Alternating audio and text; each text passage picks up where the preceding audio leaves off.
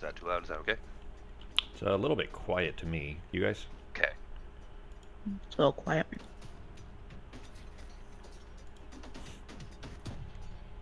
Do me a favor, G. Uh, on the right side in Discord, uh, look for the sounds icon that has the blue uh, speaker icon. Okay. Uh, right click on it and like set nickname or something like that. Change nickname. There you go. Uh, change it to sounds dash J or something like that so we can tell the difference between who's who.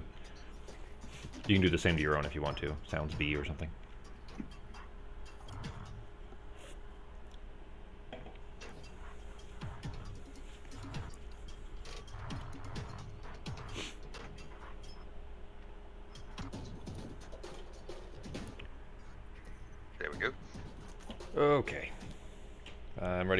Else is. Okay, let me bring the map back up. You guys uh, had uh, made your way into the villa uh, through the yard with the crazy guy and his dogs. Uh, inside with the two thugs that attacked you in the main hall, and then you guys heard some voices upstairs. So you guys had ran up that way and saw a, uh, a fight already in progress between some more guys in black leather armor who you obviously know by now as Zhentarims, and then uh, the guys that you would assume, again, by now you've seen a few bodies and stuff of uh, house guards based off of their uh, their garb and everything. They have the house symbol on them. So, um, oh, hang on, let me show the map again. And it's fucking Now, working again- for me. Great. Ah, damn. I'll I'll get it figured out. It's it's just pissing me off that every single time, every time I try to load anything, it's not anything you're doing. It's it's something on my side. I'm not sure why. I was gonna say, would it help if I reloaded or something? No, I don't think so. There, there's actually there's one thing. It actually just loaded on the recording side. Okay, cool. It's popping in for the. Okay, good. Probably because it was pre-cached. Um, there, there is one thing that I'll have you do afterwards. I just keep forgetting to to have you do it. Um, that might help. I'm not sure if it will, but we'll give it a shot after. Anyway, go ahead. Okay. And so when you guys pop up there, you do see uh, there's actually four guards in front of that door. But again, this room apparently is this map is kind of tiny for actually fighting, even though it's meant to be a battle map. So uh, there's actually four guards in front of that door, not just one. And then there are three Zhentarim guys advancing on the guards. So you're assuming trying to get through that door. And you heard a woman's voice from behind uh, when you guys were coming up the stairs yell, uh, "The city watch is on its way." So you're assuming they must want that lady for some reason, or at least one in that room. So. Is the initiative we rolled is that a new initiative, or did we was that from the downstairs fight? I don't remember. No, I don't think you guys re-rolled initiative because, again, uh, you guys, if you want to, you can absolutely help. But I mean, uh, it's four to three, so it'd probably be okay. But it's all up to you guys. So if you guys want to do it again, um, we can either re-roll initiative or just go based off what we already have. I don't care either way. If you guys choose to get involved physically, so Well, you're the DM. You decide. Um, yeah, we can just uh, re-roll again if you guys want to. If you guys decide you want to go that way. So, I'm. We'll be definitely getting involved, so we might as well. all right, guys.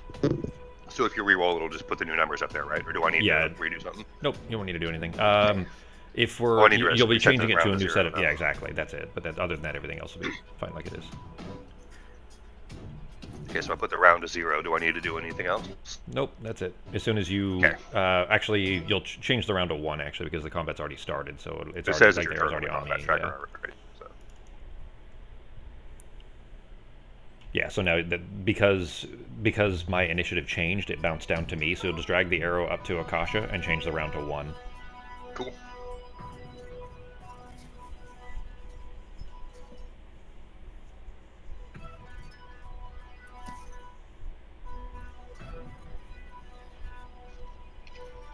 All right. Oh, uh, second thing too, for all of the guards, change them to blue, um, or to yellow, doesn't matter.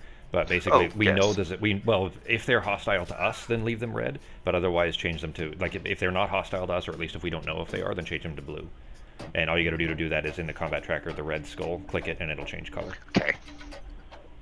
We know the thugs are hostile to us, so we can leave them red. Oh yeah. I already have it.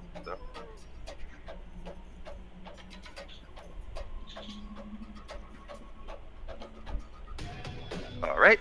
So, again, you got uh, three Zhentarims in front of you there, honey, and you and Ghost are coming up the stairs. They are attacking those guards. So, it is your choice what you want to do. Uh, am I at disadvantage if I use my longbow? Since I'm, what is that, like five, ten feet? Didn't I think I looked a- that up? I think I looked that up uh, earlier on for you, and, and there wasn't anything. Let me double check, but I don't think there's any disadvantage for sh- for short range like there was for other games. Didn't there? Didn't it used to be? I You remember there being a rule than about five that. feet away, right? If if you're if you're if you're in the square next to him, it's disadvantage, I think, right? But if you're one square away, then it's normal. I Maybe that's what it is is. What we figured out. Yeah, that could be. Let, I'll, I'll check it real quick just in case. Okay. I think it's supposed to be if you're in your melee range. Yeah. Then it's disadvantage with ranged, I think. Uh, you only have disadvantage on a range attack if you roll within five feet of a hostile creature. Yeah. So Yeah. All right, I'm ten, so that works. Yep. And he's just he's not actually in that wall. They're just assuming there's enough space that they're taking up most of that area. Yes, but they're not actually inside the wall. So yes, you could hit him. and it hits, babe.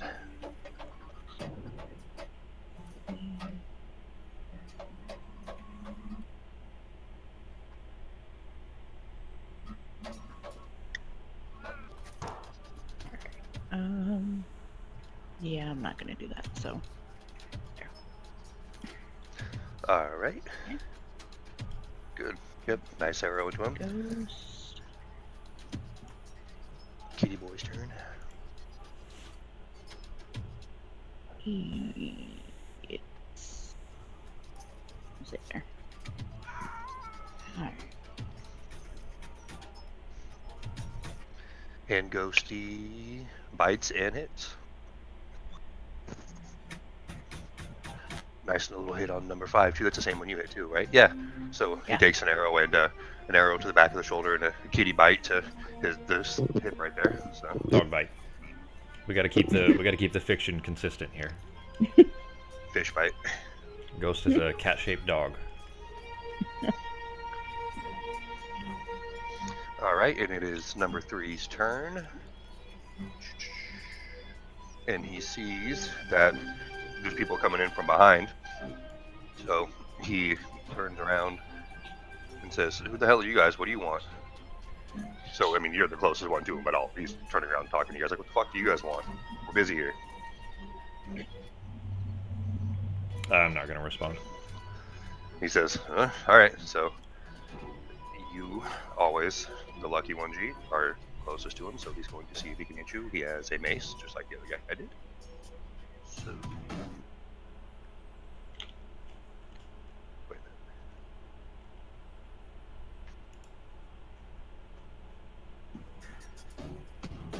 That is, yep.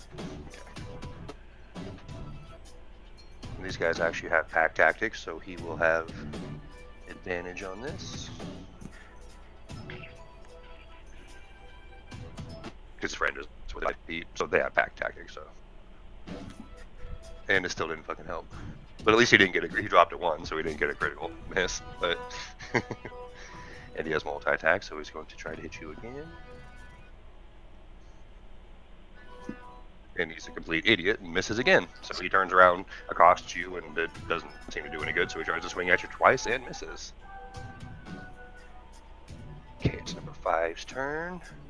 And he actually, knowing that he just, well, not knowing what hit him, but, you know, feeling some pain from the back, turns around and sees a big giant cat right there. So, he is going to see if he can hit Ghosty, but uh, none of the rest of friends are within five feet, so we won't get the pack tactic stuff. And he misses. God, these guys fucking suck. You're gonna try. And he missed again. So, yeah. All right, it's your turn, Zucko. All right, I am close enough to strike number five. Is that correct? Uh, yeah, you could hit any, any of those guys. All right, I'm use my refined quarterstaff on number five. Okay. Same one that's already been whomped on already. Yeah, but it's gonna be uh, non-lethal, so if it kills him, I'm gonna have to hold back just for a sec. Okay. All right, so just a whack to knock him out, and it hits. Nice. Yep. So you get a nice whack on his head. He's looking. Let me see. Yeah, he's definitely uh, not doing so well. He's he's bloodied for sure. So Any bonuses for you, sir? Uh, not at this time. Okay. G. Um, I'm going to, uh, it's still having my spear in front of me for, from, uh, you know, where three was trying to hit me and just kind of dodging out of the way. I'm going to feint a swing at him, and instead I'm going to stab nine in the back because he hasn't turned around. He's probably engaged with six, but because he hasn't acted yet, uh, I'll have advantage on it from, from him not acting in this combat so far. Okay. Um,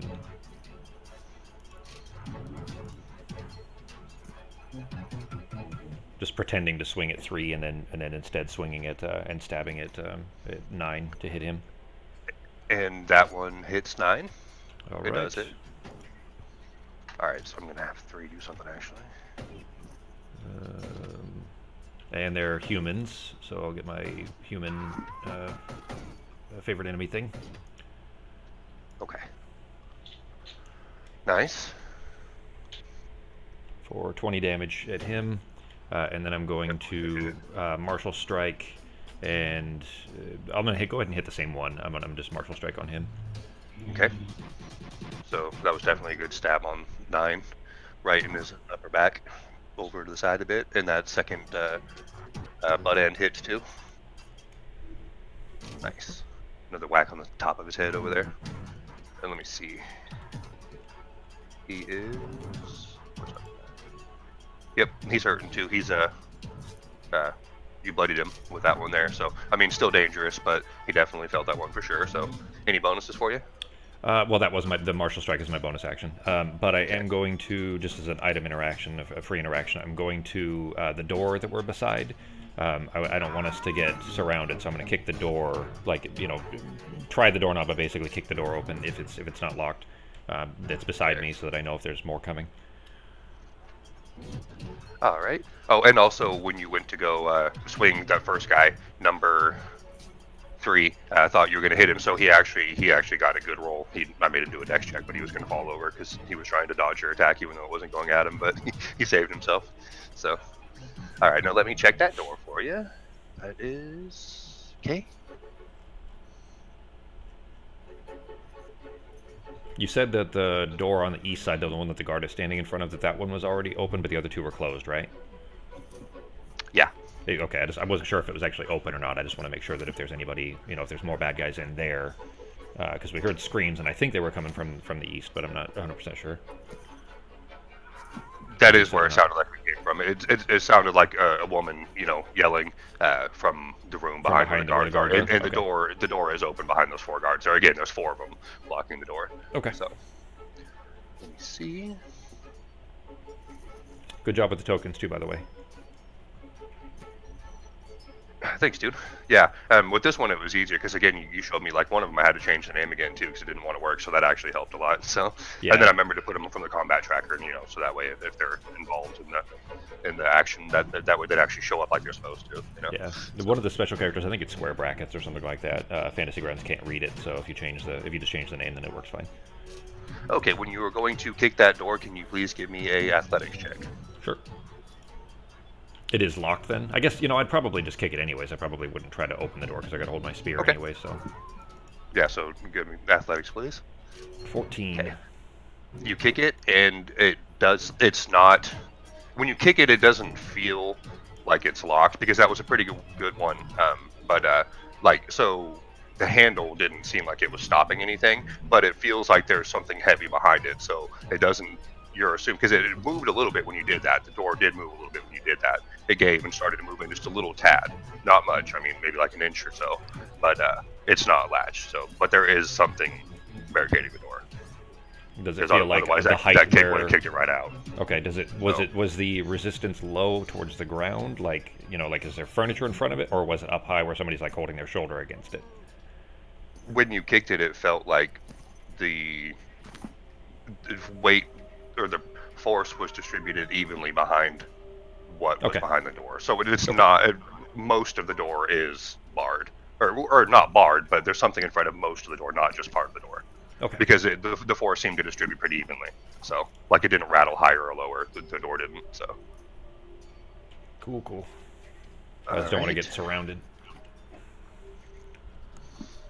And number nine uh, even though he got hit by you, he's still paying attention to what he's doing over here. So he's still going to try to break through the line of, and his friend is. Okay, so he's gonna have. You gonna can- still try to break through the guards there. If you wanted to, I mean, you can reveal the room to the east since the door's open anyways, and then just put the other guards on the, on the tokens there.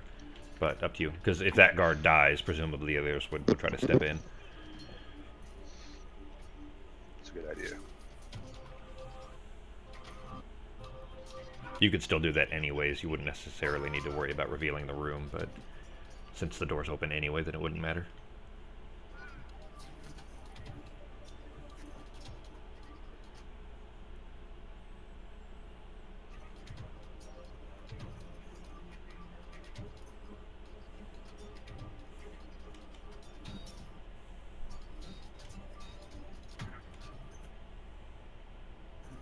Yeah, because you guys can see some of the room at least, you know, behind the the action, the guards and everything. So you look into into the room back there, and you do see. Okay, uh, when you look back there, you can see uh, you guys can see the uh, orc on there too, right? You see a, a very nicely dressed noble woman and a uh, orc, a half orc guard standing in front of her. Can you guys see both the tokens on the map? Yeah. Okay. So you guys can see that behind the guard. So and um, go ahead and drop the other ones on there. Remember, if they're combatants, though, they're not on the combat tracker, so it, it won't matter necessarily. It's just, you know, that's up to you on whether they're combatants or not. Yeah, they, they weren't going to be, but I mean, I guess if I need to, you know, the the orc might jump in, but Don't worry about it. um, not going to unless things get hairy because the orc is the is standing very close to the lady, so you're assuming it's uh, a personal guard. So What's nine doing? oh, uh, give me just one second. I'm just gotta get the other tokens on there, and then he's gonna go. So Just make sure you drag him from the combat tracker. You have six on there already, so grab 18, 2, and 8. okay.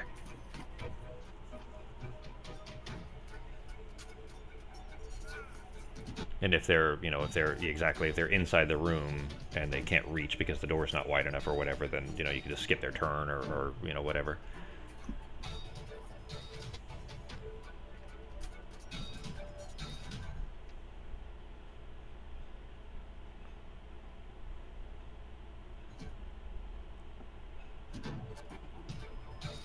Okay, and so they are all, all. We'll just say that they're just inside the door there. That one just uh, had broke through and kind of tried to keep them from breaking in. So it is Thug Nine's turn, and he is going to try to hit that guard there in front of him. So.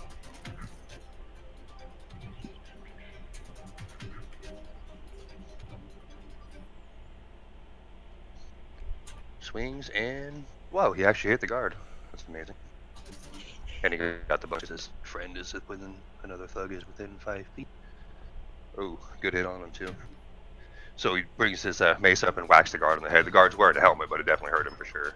So, and he's going to again. That one does not connect. So,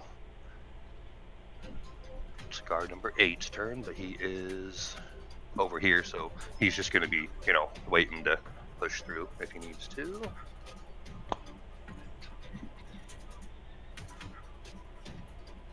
Alright, and six, he is the one right there, so he is going to retaliate. Okay. He's going to use, he has a long sword that he has in his hand, two-handed. And hits. On number nine. Good slash there too, good. And he has multi-attack, so he's going to see if he can hit him again with his long sword. Dropped it. And that one also hits. Bam, another max damage hit too. Good one. So, yep, he hits uh, two longsword slashes into number nine, who's the one standing right there in front of him, and number nine looks like he is uh, not long for this world, that's for sure. So, two is also blocked, so he's just gonna position as well as 18. And I think we are on a new round. So it is Akasha's turn again. Alrighty.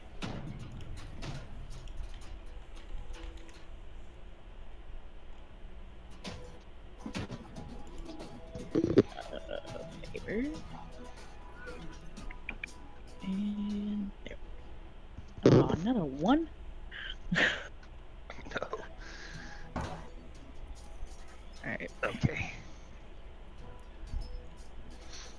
Ghosty. And I have him attack the same guy again. Okay. And Ghosty didn't get it. He missed. Damn. Alright. Thug 3's turn. He's the one that was down here trying to hit Rob, so he is going to continue to do the same thing.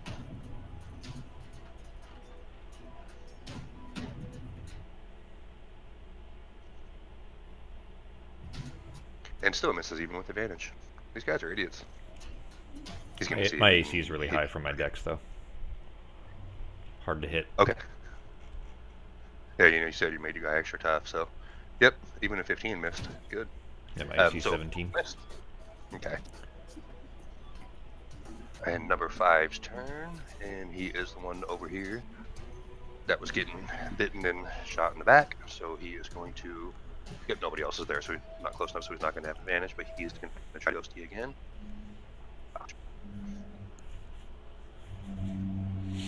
Oh no! What do you mean, Ah. oh no? Because he landed, but it was fucking crappy damage. So he goes and swings and just barely hits Ghost. I mean, it does connect, but it's pretty wimpy hit. Goes again. Oh, he hits again. Poor Mhm. Kitty. Poor dead fish. Uh oh. That one hurt though. Damn. Ghost shows heavy damage in the combat tracker now. Yeah, he's weak. He's got five points. Eldor, it's your turn, sir. All right, I'm gonna hit uh, number five again, a non-lethal. Okay. It hits. Wow, that was garbage. but still whacks him on top of the head there. So, let's see. Any bonuses for you, sir? Uh, no, I, I kind of want to do a cantrip, but it's an action, not a bonus, unfortunately. So I'm good. Okay. And uh, five looks like he could pretty much be knocked over with a feather. So, G, it's your turn. Okay. Uh, after continuing to bob and weave, I guess for the three of these guys, do any of them stand out at all, or are they all dressed basically the same? None of them look like, you know, they, they are of any importance. I can't tell if one of them's the boss or anything like that. Uh, can you please give me a perception check? It's actually going to be for more than one reason, but for that too. Rolled shit. Nah, not. Yeah, not that you can notice. And it's, but I mean, you look at them, and they all have the same weapons and black armor that you've seen, maces, and and they've got all they got crossbows on them too. They all the other guys did too, and black armor. So, um, nothing that really stands out. But you also didn't get a chance to look real close yet because there's you know, fucking a ton of guys in this little tiny room. So kind of a clusterfuck of people. Okay.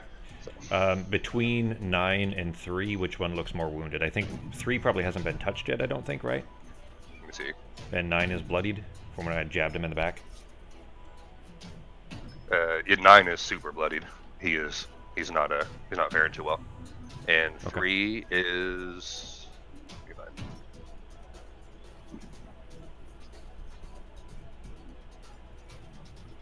Uh, three hasn't been touched yet.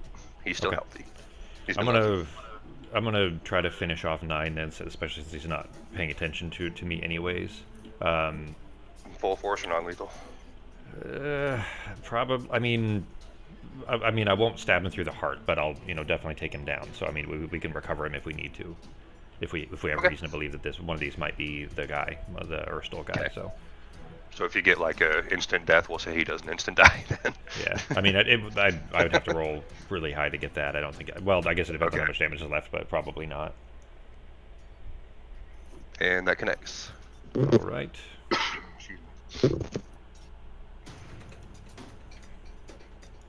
I think I need to one. It'll be easier for me, and having getting to play now, I, I get to see like some of the things that would be a little bit harder for you guys as players too. Uh, like the two damage ads that I have, if they're a human, uh, it's a, it's annoying to find each of those in my list. So uh, maybe I'll make a separate section or something like that, and then you know if that's easier for you guys, like for for uh, Norok, um, then that could be something Okay. useful for, for him later on too. So Yep. Yeah, you go to jab him, and it goes right through his gut, and he falls. And uh, he's still, you know, slightly breathing and stuff, but he is not getting back up. He's essentially motionless, laying on the ground. okay, then I'm gonna spin the, the butt end of the spear around. Uh, no poison on the butt end, of course, but to uh, to whack the guy that's in front of me.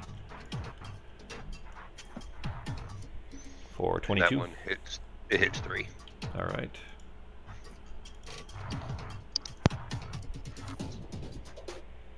For 10. And Nice. uh, just listening to that door beside me, uh, does it sound like there's any motion in there? I'm going to shout over to, to Akasha to check our perimeter as well. Um, but I don't hear any motion or anything from the door. It just sounds like maybe it's furniture or something on the other side. I just don't want it to open and have something surprise me. Yeah, go ahead and uh, you can go ahead and do another perception check. if you want. 11. Yeah, with that one, uh, it's it's uh, good enough. Again, one guy, you know, down. One guy's down, so a little bit uh, less uh, stuff like that, or you know, um, noise. and shit of weapons. So uh, when you do take a second to kind of stop at that door, still looking over at the action to make sure you don't get hit, that you do hear pounding, uh, not on the door, not right in front of you on the other side of the door. They're not trying to like you know, kick the door back closed. They are. It's coming from below that, south of that. So So pounding like like a fight? Like somebody punching somebody or something like that? somebody's hitting a door or a wall. Okay, all right. Yeah, then we definitely need to check these doors. Uh, but that's it for my turn. Okay. And it is. Oh no, he's the one that's down. Yeah. Guard eight. He is the one inside there, so he's just gonna wait and be ready. Six is the one that's outside here, so he sees two, five, and three over here, and he's going to go for the best one that he can think of. Let me see. Which one's more? Yeah, so he's going to use his sword again, his long sword again, to see if he can hit number five, who was actually not even facing him. Oh, we didn't use any flanking rules either. Oh yeah, you guys should have had um, because those yeah those guards are technically well they're fighting the same enemy as you, so they're considered friendlies, right? They would be. So it doesn't matter whether they're friendly. It matters whether they're hostile to my target. Yeah, so they're yes they're hostile to your, towards your target. So yeah, you Yeah. guys. So on your uh, on your guys' next round, you can do this plus two, right? I think that's what we settled on was plus two if they're directly across, or plus one if they're to the side, or something like that. It might have been plus three if they're directly across, plus two if they're to the side, whatever. But we can nail it down. I, I know we went over it. I just I, I didn't save it, I guess, in my OneNote because I don't have notes anywhere. Okay. So he brings his longsword up two-handed, down uh, somewhat at an angle, slashes through the shoulder and the neck. The head's still on there, but it was serious damage. He's he's fallen over too. Guard pulls the sword out, and that's it. Because multi-attack has to be on the same target, Reggie, to work. No, uh, at least not for players. I don't think for. Let me let me check real quick. I don't think so. Because he has multi-attack, I just didn't know if it had to be both on the same target. So, because the first target died.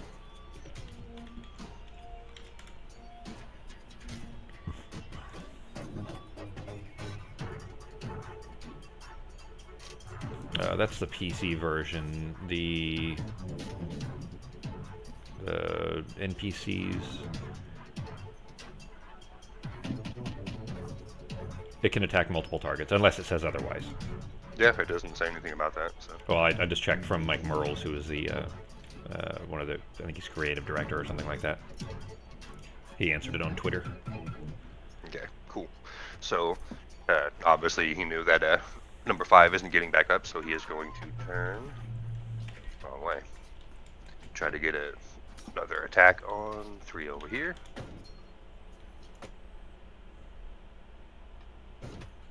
And he hits.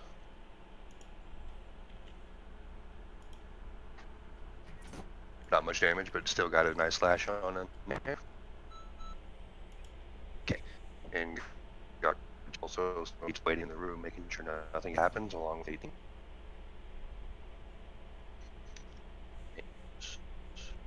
Okay. Another round. Akasha, it's your turn. eh? All right. Is that a door behind me? To the north. Yes. Mm-hmm. All right. Then I'm gonna back up there.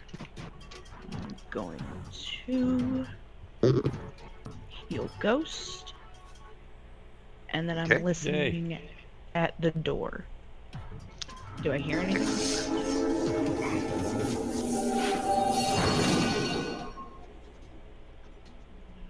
Apart from your spell effect, you mean? Yeah.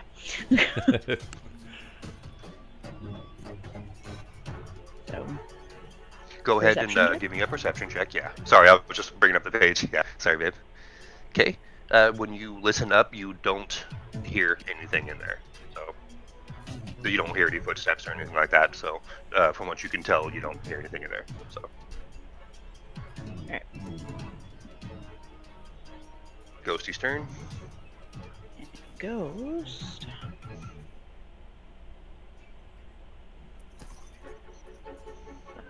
He's just he's just gonna walk over dead bodies. He's fine. Give him a roll of plus uh, plus two with that, babe, because he's flanked. So Is that plus two? Because it's not. He's not directly across. would that guard be uh, diagonally, or is he technically across? Or, or what about you, G? The guy, Because yeah, exactly. This guy, this guy is engaged by both me and the guard directly behind him, uh, but it isn't directly across. Um, the- he, he wouldn't be in that wall. He he actually would. He'd be more like, you know, that because Yeah, he's not yeah. inside the wall. So he is directly across from G. Well, he's directly across from me, but I'm not directly across from Ghost, is what I'm saying. So Okay. the, the guy is surrounded. He just he's just not directly. But, but basically, I mean, the plus two is reasonable to me. We just never nailed down the rules. I would say probably the plus two is fine. Yeah, there's so many guys around him. We'll just go with plus two. He's not able to successfully be dexterous or defensive really when he's got you know attacks coming from all angles basically. Yeah. And it hits. Okay. Uh, favorite enemy. Nice. Gets a nice little bite on in there. Uh, AFK one second, guys. I'll be right back. Why did it do advantage? Let's see. 'Cause I hit Uh, plus two. was the advantage one clicked also? Because he doesn't have any effect on him that would have. Oh, hang on. Did you? No, you hit the right one, right? You hit three. Yeah, he's 'cause it still alive. I, I don't know. Well, you dropped a two. I would, I would say just it's fine. Maybe Um, Ghost was uh, was knitting on one of the corpse, making the making corpse biscuits. For the, because you, yeah, I mean, you wouldn't have had pounce or anything. My my only guess is that maybe you accidentally clicked the advantage right next to the plus two in the bottom left corner or something too. Because there's no effects or anything on him that would have uh, would have given advantage. I must have. No biggie. I mean, these guys are pretty. If it was a closer to a fair fight, then I would say maybe we roll it back. But I mean, these guys are surrounded. There's four guards right behind them. The orc guy, the three of us, and Ghost. Like these guys were, were pretty well screwed right from the start. And that's part of what I, what I was concerned about is that like Ben had originally described that there were four guards there and three of the bad guys and then three of us and then there's these other two doors and I'm sitting here thinking like are we gonna get surrounded like are more of them gonna swarm out because this doesn't seem like it's enough bad guys because there were eight dead guards in the on the floor downstairs, um, and then these four, which means that's at least twelve guards for this house, and they only brought uh, we killed three Zhents downstairs or just two? I think it was three, one inside Uh, and two outside, something like that, right? No, it was one outside, one inside. Okay, so the was- other one was the guard that was walking the perimeter. That's right. That's right. With a dog. So that means that there's only five of these bad guys. They took five bad guys to attack a well-defended house with 12 armed guards so far. I mean, they did a decent job because apparently they killed the eight downstairs. But anyway, back to you. Yep. So it is Thug 3's turn. And. He is. he's uh, again looks over at all. He kind of just looks around at all you guys, and he has his weapon out. But before he swings, he says one more time, "He's like, what the hell are you guys doing here? This is none of your business." So again, he doesn't. You guys can respond if you want, but Uh, hang on. You, I only saw one shadowed IG. If they're, oh well, he doesn't have pack tactics anymore. Anyways, the other two are down. Were you remembering to roll it with pack tactics? Yeah, I was. Except for I did forget on that one, but I guess it would have been okay because his friends are down. But I yeah, it wouldn't have mattered there because his, his friends are unconscious, so he doesn't have pack tactics anymore. Yep. So he is trying to whack you. You're still the one close to him there. And you took down one of his buddies. And first one misses, second one hits.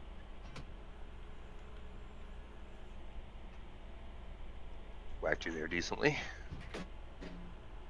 Alright, he's down. Eldor, it's your turn, sir. All right, I'm going to switch over. Uh, thug number three. Okay. And give him a good smack with the, uh, the staff. Alright. And it misses. Boo. Uh, bonus action. Can I do a bonus action on one of the dying people uh, and do a um, uh, spare the? Sure. Um, did you want nine or five? Uh, let's go with five. Okay. Then I am going to take nine off of here, so that way he's not taking up room. So.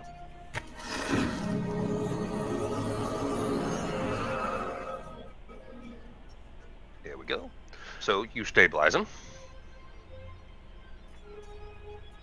Figure both we and the cops can question him when he gets up.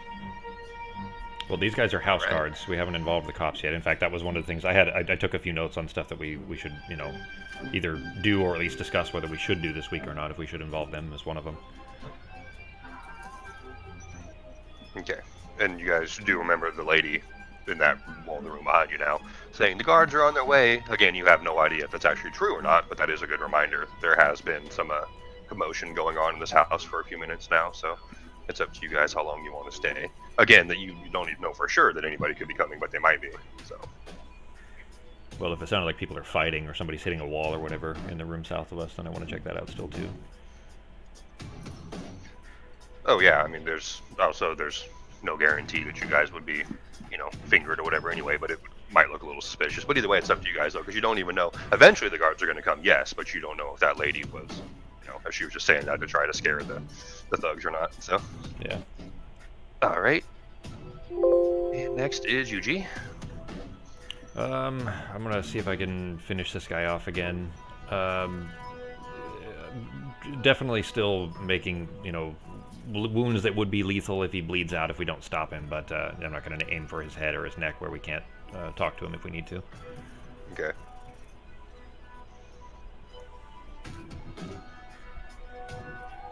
Uh, 13 Hits. still hits. Okay.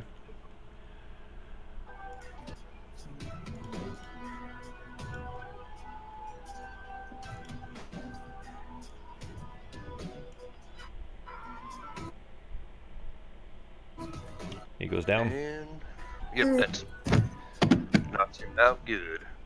Again, uh, not moving, but not uh, or or just you know twitching a little bit, but uh, not moving. He's definitely not getting back up. So, but not completely dead. So, Okay. Um, then I guess with him down and still hearing motion behind this door, I'm just going to shout to the guards, "Are there more? I'm hearing noise behind this door." they say uh, they say Urstul's here somewhere. I don't know where he got off to, but he's here somewhere. Uh, and then I, I don't know who else is here. We've just been we've just been uh, guarding a lady here, but they had a confrontation not long ago, and he, he ran off somewhere. But he's I think he's still in the house. So. Shit. All right. I was hoping Urstul was going to be one of these guys, and he was just blending in. Then, all right. Then, with that being said, uh, well, I mean, is initiative order? Basically, can I op- can I try to open this door? Because I used my action to stab that guy. Yeah, that's fine. But uh, we'll just do like the non-combat initiative order thing. You guys can just tell me what you want to do, and we'll leave the map up and everything. So, you gonna Alright, try I'm that gonna- door again? Yeah, I'm trying to force this door open. and if I can't, I'll get out of the way to see if Eldor can. Okay. Um, uh, athletics again, please. I'm gonna take three off of there too because he's. You guys can bring him back up if you want to, but he's you know laying there bleeding out. So, but five was stabilized. So. Could I use a uh, guidance on uh, on his door smashed? Um, yeah, so that would just be advantage. She'll roll it again. G, is that how it would go? Uh, Guess he would guidance help is a, it's a Is that what you mean? spell. Well, I mean, Oh, if, oh, if you mean oh. the help action, then it would be it basically help action would give me advantage on the roll, or I would give him advantage either way.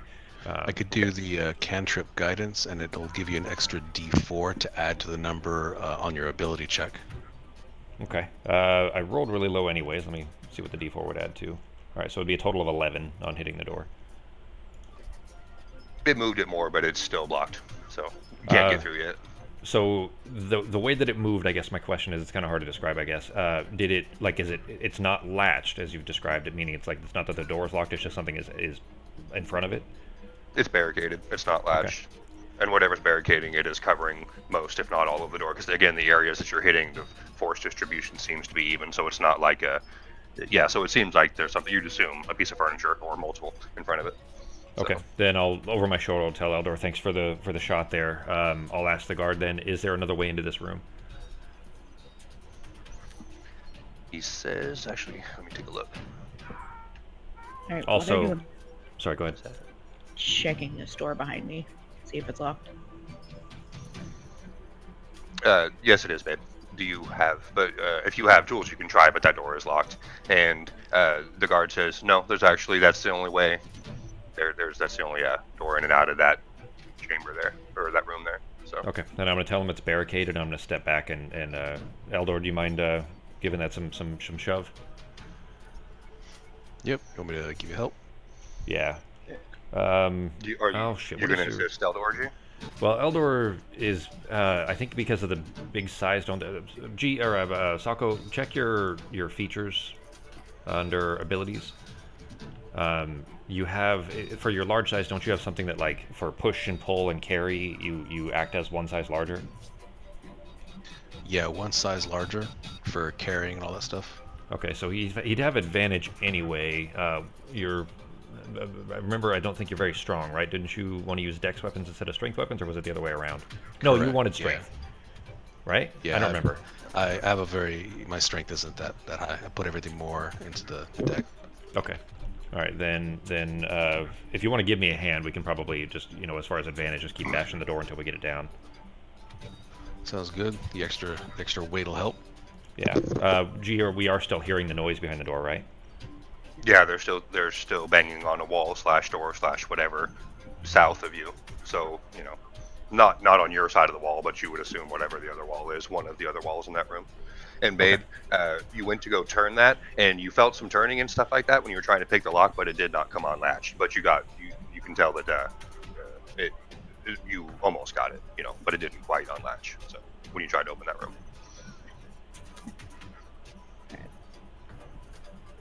Want me to roll athletics again to smash the door, G?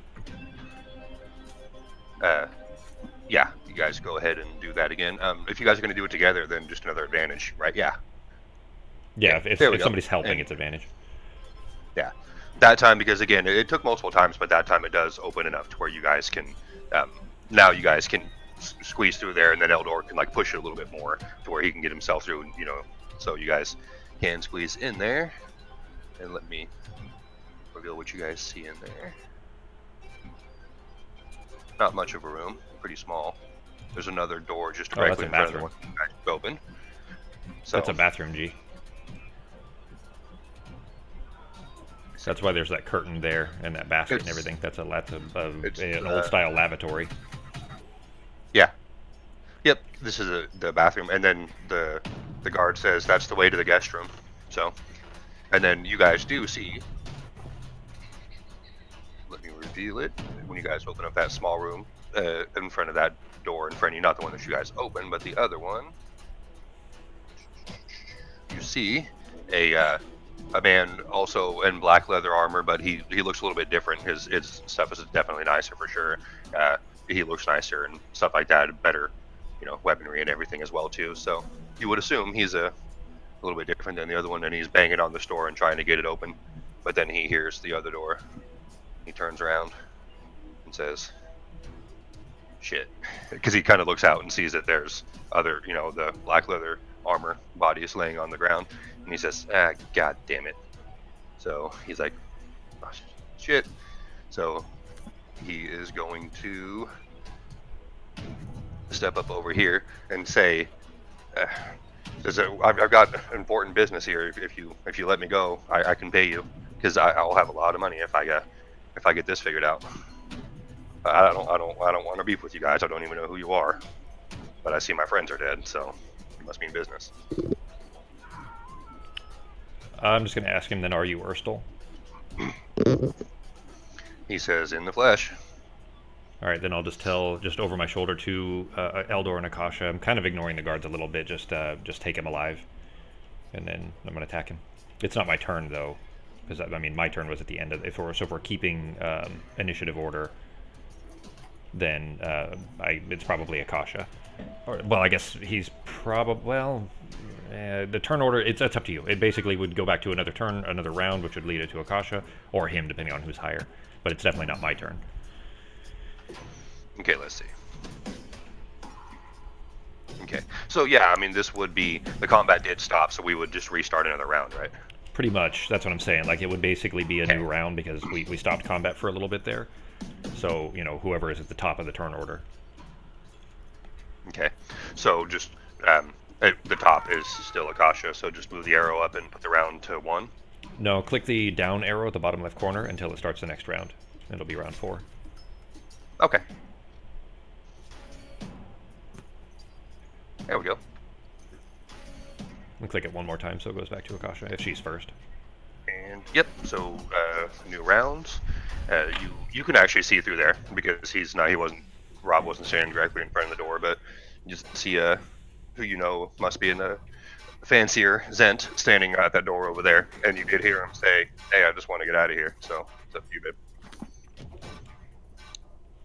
Um,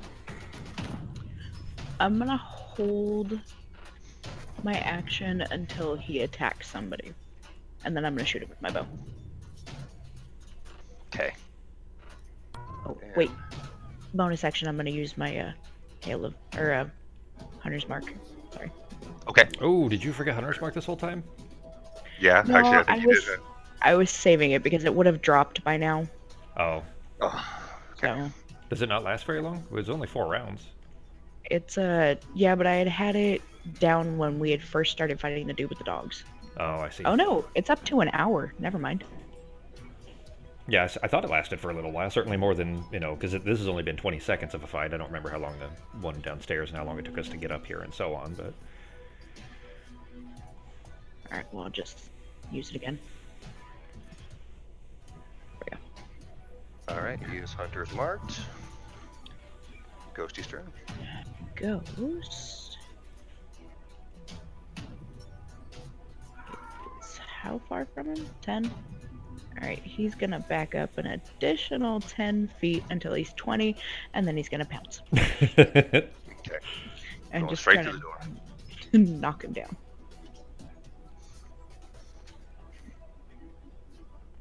even remember to identify him, G. Good job. All right, and oh yeah, yeah, he definitely failed. So he is knocked over. And he's just gonna take his bite for the hell of it. And it hits.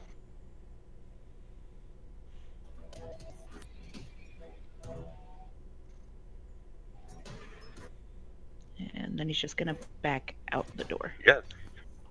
Okay. Decent little bite there. Is is-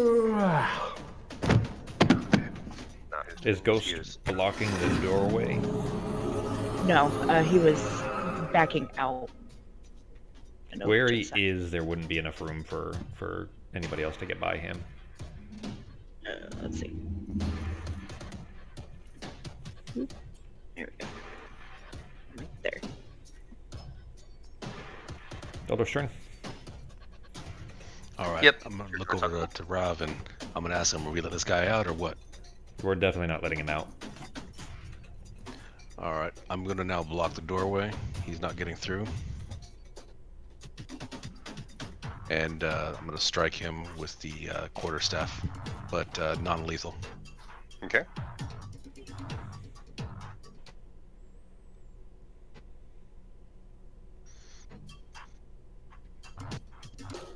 Uh, oh, that's why. Never mind. He- He's prone. That's why he had advantage. Never mind. It hits. Yeah, I was wondering why he had advantage, but well, uh, it wasn't. flock- It wasn't even. He, he clicked it twice on accident, but uh, Okay. So the the lowest one, or from the advantage, was a 14. So even if the 14 hits, it wouldn't matter either way. He would definitely still hit. and 14 Sorry, would have hit it. it twice on Would have hit. accident. Okay. Okay, Yep. So they all good. Yep. So go ahead and do the damage. Nice. So you go and give him a good smack in the stomach there. Kind of knocks wind out of him a little bit. Any bonuses? Uh, not at this time, but I'm gonna prepare the spare the dying in case uh, Rav kills him. So that way we can kind of keep him uh, stabilized. Now, is he able to uh, get around me? I'm blocking the door for him to get out, but I just want to make sure Rav can, can maneuver. Uh, Rob could probably get around you, I'm guessing, but if you want to, you can step back because those are bodies on the ground, so you could step around them because you are uh, blocking line of sight for Akasha. So, All right, His step a little exit, his side. exit would have to be the stairs anyway. If there's no window on that wall, assuming there's no windows for him to be able to get out, uh, he, the noise that we were hearing had to have been him banging on that door to the south, because we heard banging sounds, right? Like banging on a wall or a door is what Ben said. So he was banging on that other door, which means that door is not going to open. His only way out of here is through us and down those stairs. So that, that doesn't seem likely to happen anyway. the description doesn't say anything about a window in the bathroom, so no, he is. Uh, it's past you guys or nothing, basically.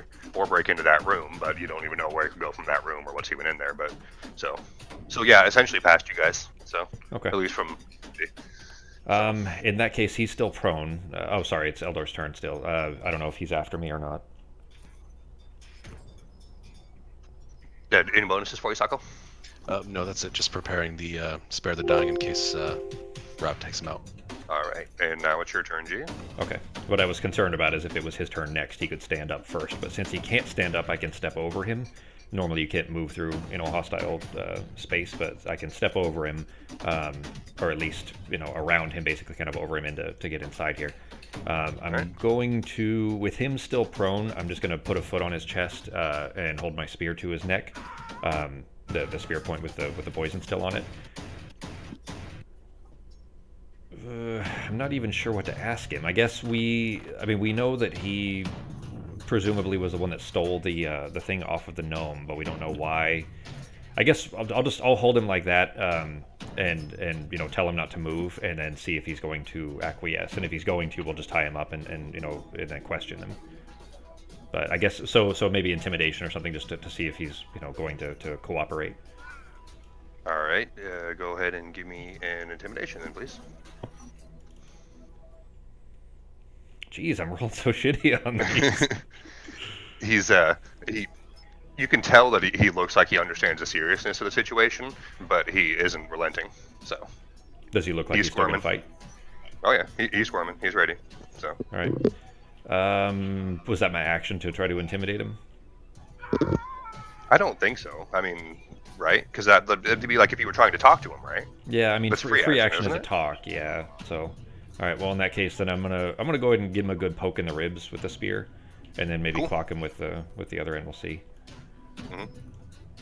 Uh, it says that he's wounded. Is he? Oh, yeah, he's advantaged because he's uh, prone still. Um, how like it it says he's wounded as far as you know his title there. Um, like, is it visible wounds? I can see that he's already pretty beaten up by something. Uh, yeah, he's he's taken a few licks, but nothing serious. He is definitely still, uh, he's definitely still dangerous. You know, if he gets Okay. a chance to get back up and everything like that. And again, from he moved definitely quicker than the other guys, and he was you know better uh, uh, weapons, and you know it seemed a little bit better than the crappy maces the other guys were using. So you're assuming he could be dangerous, but um, it, his wounds are definitely not life threatening or impeding his movement or anything like that. So Okay. and um, Did that martial strike also hit? It's a 14. no, The 14 the first doesn't one hit. hit, the 14 missed. Okay. Then that's it for my turn. I'll I'll keep um Yeah, I guess the probably the foot on his chest probably would be some kind of an attack. So we'll just we'll just you know take that back, uh, or at least you know that uh, the trying to hold him down basically would be uh, would be that. But uh, I'll, I'll you know just be standing there kind of ready in case he uh, tries to attack. Okay, so we'll just say that you were.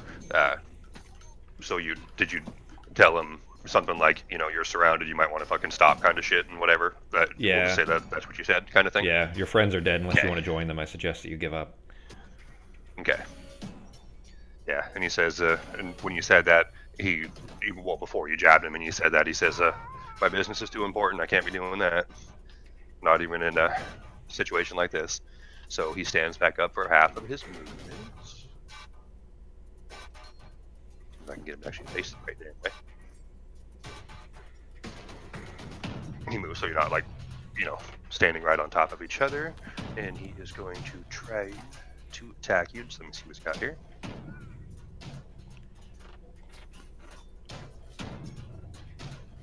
Uh, do I have clear line of sight?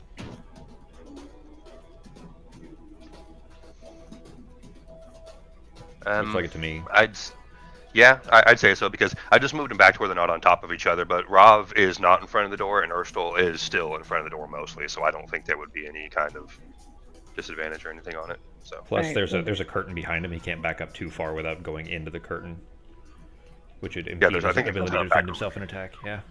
yeah, Then if he's attacking, I'm gonna use my held action. yep. Then go ahead because he you can he pulls his pulls a weapon now, uh, a short sword, and he's getting ready to try to swing him Rav. Disadvantage. Uh, he still Oh, has. Oh wait a minute! I, I hang on. Yeah, I need to take the prone off. That's why. Well, that would actually be advantaged on her attack, though. Why would it be disadvantage? Ranged. Ranged. She's ranged. Oh, yeah, yeah, yeah. yeah. Okay, duh. Roll again, loves. Well, hang on. So she dropped an 18. So a 7 or an 18. It would be an 18 plus uh, 8. So, no. So look at look at the roll there. It says she dropped an 18. You see that? That means she rolled a 7 Oh, and an oh, 18 okay. because Yes, of yes. disadvantage. So if, with the 18, it'd be 18 plus 8. So unless his AC is better than 26, then it would hit. Nope. That does hit. Alrighty. Then. Hush, Esther.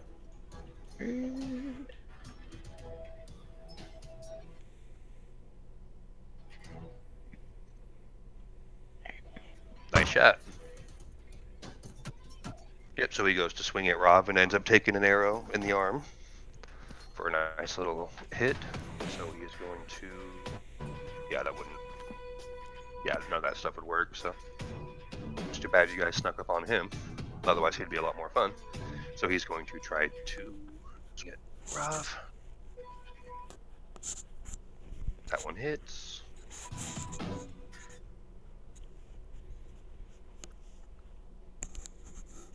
And he's try again. Multi attack. I'm lagging a little bit here, sorry. Yeah, the music is lagging. That one hits too.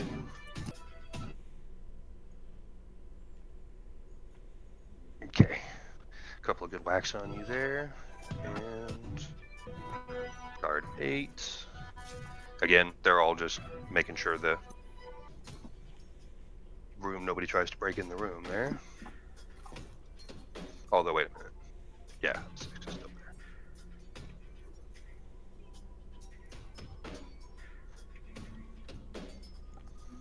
there. Alright, your turn, Bib. Alright. We're just gonna shoot him. It hits.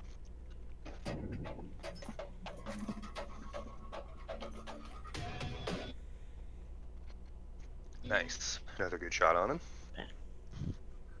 Alright. So his AC must be 15, I think. Uh, yeah. And he is, uh, he's bloodied, for sure. Alright. Ghost is just gonna swipe at him.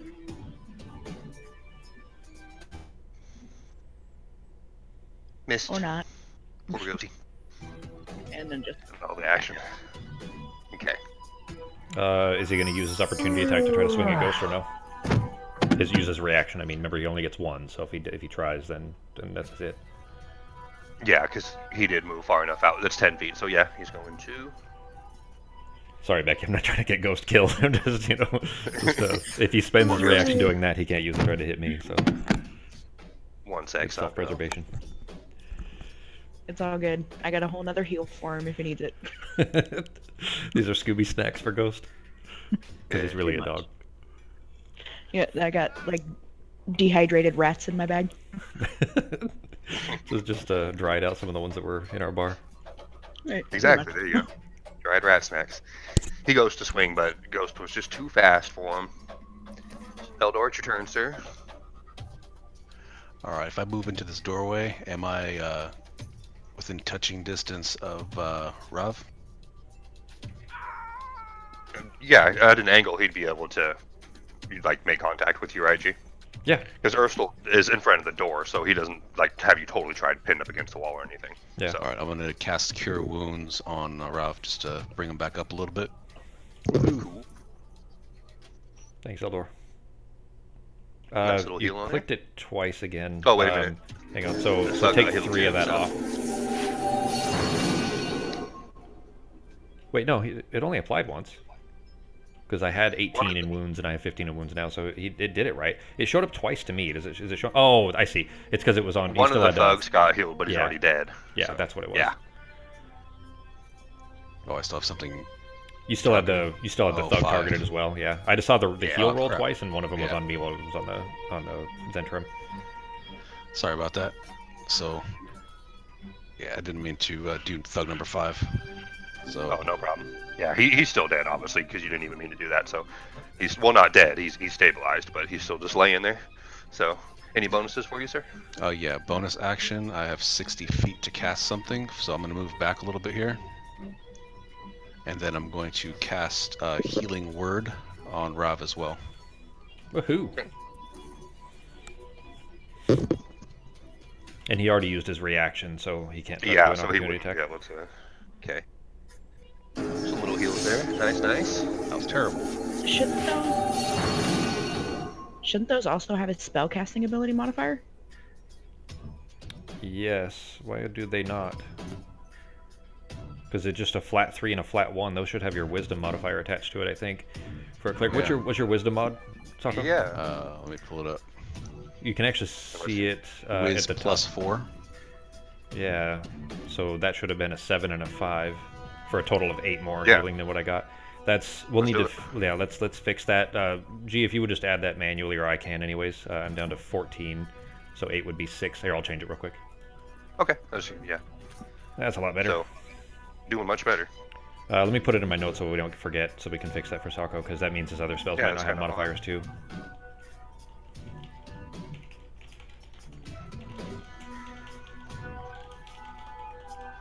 Good catch, Becky. Right. Well. I just noticed that I heal Ghost 11, so Yeah, like his spellcasting modifier. I'm wondering then if it's not on his other spells either, because if it like uh, for things like uh, well, Bane, I don't think uses your spellcasting modifier, but you know any of his other spells, like it would definitely be something we we want to have fixed for sure. Not just the heals, of course, too. But anyway.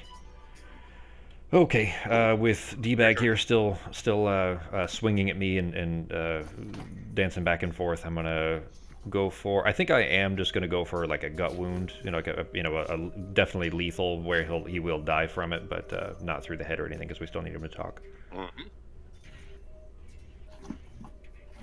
Um, I'm gonna make a trip attack. Okay. Damn it, nine. And fist. All right, then I'll use my martial strikes to uh, try to trip him for a 21. It hits. All right. I don't get the poison on this one. That sucks. Uh, he needs to make a uh, DC 16 strength save. Okay.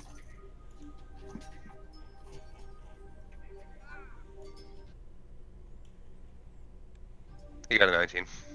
So he's up, but he got whacked. Okay, well, so much for that. It still does the extra damage, but it doesn't knock him prone. Still a good hit though, and he is hurting for sure.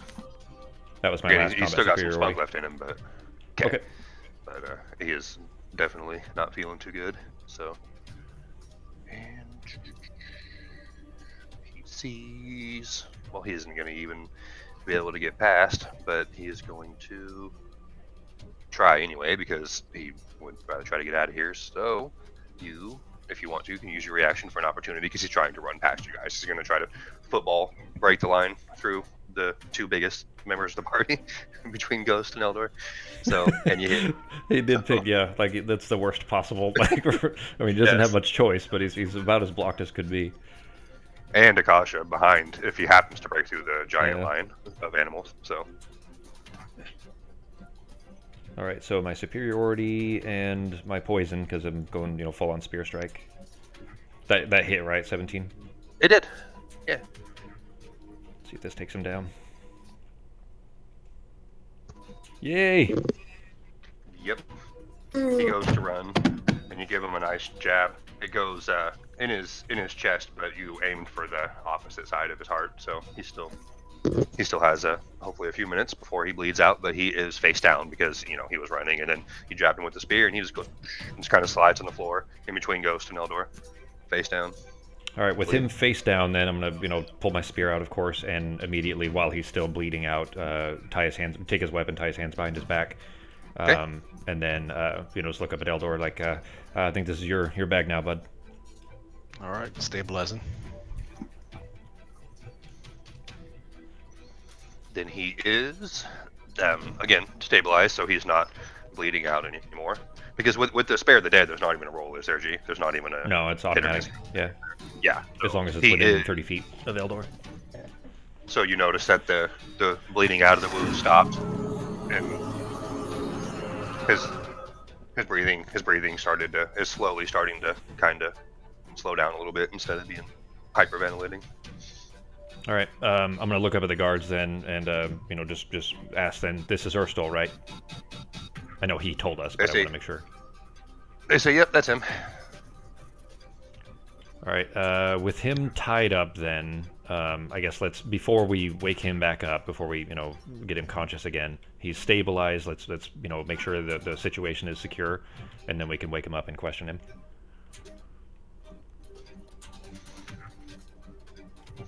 Okay, so, um, yeah, when you guys, uh, it, when you guys look around and stuff, you don't see anybody else running in or out. You don't hear any other footsteps or anything. So, if you guys want to investigate further, you can. But otherwise, all the commotion, from what you can tell, is died down. So, you just hear the guards moving in the other room, yeah, just like footsteps and stuff like that, and then um, you hear more footsteps, and you hear a voice the, the lady's voice, and she says, "Damn it, Urstul!" She comes out this way, and she's standing in the doorway over there with, with her half-orc guard just one step behind her. So, All right, well now I'm confused because the way you said that, assuming that that's what she actually says. Uh, G, do you have a uh, different track, a non-combat music oh track? yeah, Yep. Um, the way she Second says that, that doesn't sound like he was.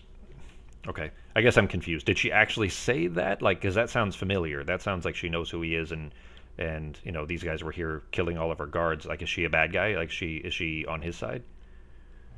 Like I said we don't know that, so I guess I'm I'm confused. Um, so while still having him, uh, you know, hands tied behind his back so he can't get away. In fact, I'm gonna tie his ankles together too. Um, so I'm probably still in the process of doing that, um, but I'll look up at her, um, kind of quizzically, um, and I guess I'll just I'll just ask then. So you know this guy?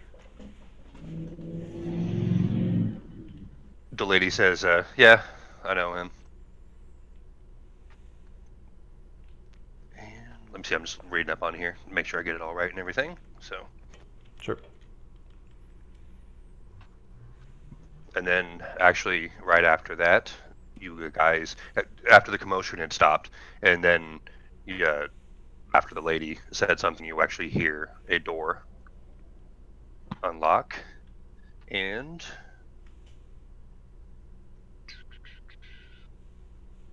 you see the door pop open a little bit, and there is a, a very uh, well-dressed noble Oops. man standing around. Sorry. behind the door behind the door that uh Urstul was trying to bash down when you guys first encountered him. So you're well you're assuming this must be the person that he was after. But uh yeah, a very nice dressed nobleman opens up that door. So cuz and then he uh, says uh dear, are you okay? and she says, "Yeah, I'm okay." So, If you have a track G, we can't hear it. oh, I click. Let me.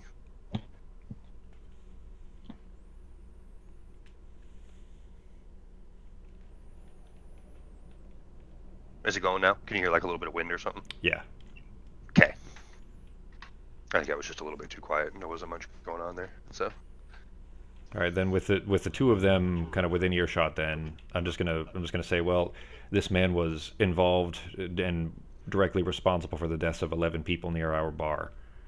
So you know him? I'm, pardon me, I'm a little confused here. That it seems like these guys came in and attacked and killed at least half your force. You know, the guards downstairs. There's at least eight dead, not to mention the 11 that were killed outside of our bar. Is he not responsible for this? they say, uh, um, bar. Oh, uh, that that explosion that happened in front of the bar. What was? I, I can't remember. Was that was that yesterday or was that still the same day? I- I forget on my own. We haven't gone to sleep So- since, so it's still that morning, like or that morning is when it happened. We haven't gone to sleep afterwards. Yeah. She's like, oh, uh, that explosion in front of that, that new tavern over there. Oh, okay. Um, in, in the Troll Skull Alley area. Yeah. Um, I have no idea where that came from, but these guys, I do know why they're here. I, they were trying to kidnap my husband.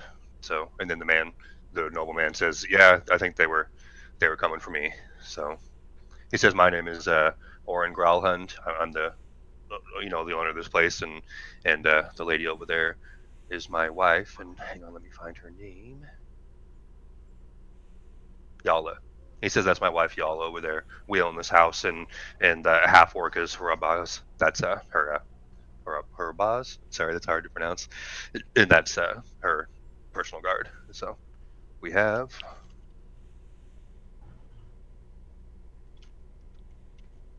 That's the man and the lady of the house, and the guard. So, oh, sorry, the guard's talking. The wounded guard. I didn't mean to have the wounded guard talk. Can you guys see that? Yeah, it doesn't matter. Okay. yeah. So, I'm just reading up on here. So give me one second, guys. But yeah, that's what uh, that's what the man says that they were here for him for sure. So, well, that it must be because that's uh, he was saying his name and coming after trying to bang that door down. So that's why he locked himself in there. So let me see.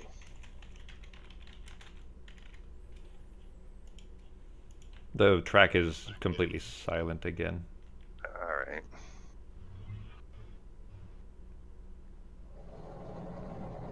There you go. Okay, I decided to turn it up even more. Maybe it's just I don't know. There should be other stuff besides that wind, but yeah, let's see. It already stopped again. it almost sounds like it's just one like three second clip. yeah, I don't. Let me go find some other random one just so we have some background. No problem.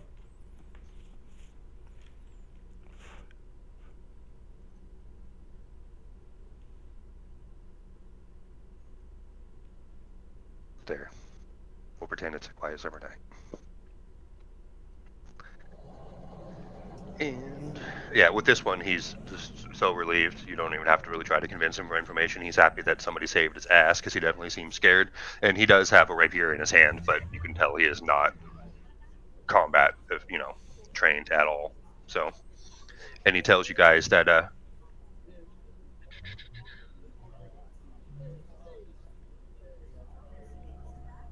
Okay. Uh, yeah, he says, well, um, Yalah, my wife over there, she was really irritated with the with the Zhentarims, and because we, you know, I've been using them to to help us, which I'm sure you probably might have figured out by now. We've been hiring them to help us, but uh, we wanted them to get the Stone of Golorr for us. I'm sure you've heard of the heard of that before, and they've been in the process of trying to get it for us, but they're not they're not very good at it. So she decided that uh, she would go around the Zhents, and she gave a necklace of fireballs to this really weird puppet-looking thing, uh, and told that to use, you know, the fireballs if needed to go to go get the Stone of Golorr for us. Uh, that uh, that little gnome, what was his name? Dalek, Dal-. He had it. And the little puppet thing ended up killing more of the Zhentarims we hired in the process than uh, he was supposed to, so he didn't do very well either. But uh, yeah. So. Hmm. All right. Well, uh, I think I'm gonna look over my shoulder because I'm still kind of you know making sure that uh, that uh, Urstul here is tied up. Uh, that that answer means that these two, without I, I can't say this, of course, verbally out loud because Eldor, you know, I need Eldor and Akasha to know this, but not these two, which there's no way to do that. Uh, that means that these two are responsible for it. So the, you know the, the explosion was her fault, and they they might have all been just trying to steal the thing, but these it's still these guys' fault. These these guys were the essentially the mastermind so far, um, which means that you know we'll may have to kill that half orc guard. I guess out of this will be a somewhat meta uh, because you know we, we, we still you know, the four guards that are left plus the bodyguard, the half orc, and we're like pretty spent on resources. Um, you know what? I think what we do instead is maybe we play. Well, shit. Okay, so we can't discuss this, but I think I think me personally, at least what Rob is going to do, I'm going to play dumb that I haven't realized what just happened or what what he just said because he gave some very important information away that I don't know if he would have intended to. So I say, or at least what I'm going to do is I'm going to play dumb until the City Watch get here, and then I'm going to tell the City Watch that these two are the ones that are responsible. Okay. I mean, just from the uh, this guy is just spilling his guts because he's just so damn relieved to be saved, and he doesn't know that you guys know a Nimblewright had anything to do with anything of your explosion for any of your tavern. Yeah. So like he he doesn't know that he's like giving you guys precious information. He's just spilling his fucking guts. So again, you guys have to decide, you know, from what he tells you and stuff. But yeah, so you guys can treat it however you want to. But by now, I mean, however long it's been, it's been at least, you know, because walking through there and everything too, what, 10 to 10, 15 minutes you guys have been in this house, or would it have not been that long, G? Because there was time in between combat too. This where you guys were fight, this fight and jumping over alone. Yeah. Oh well, since the we were Zeds were here outside. before you guys make a noise. So Yeah, since we were outside, it's probably been five minutes, five or six minutes. Uh, this fight alone was 30 seconds, and then we've been talking for like two to three minutes after that. So it's probably been like 10, 12 minutes. Probably Okay. plenty of time for, for City Watch to show up.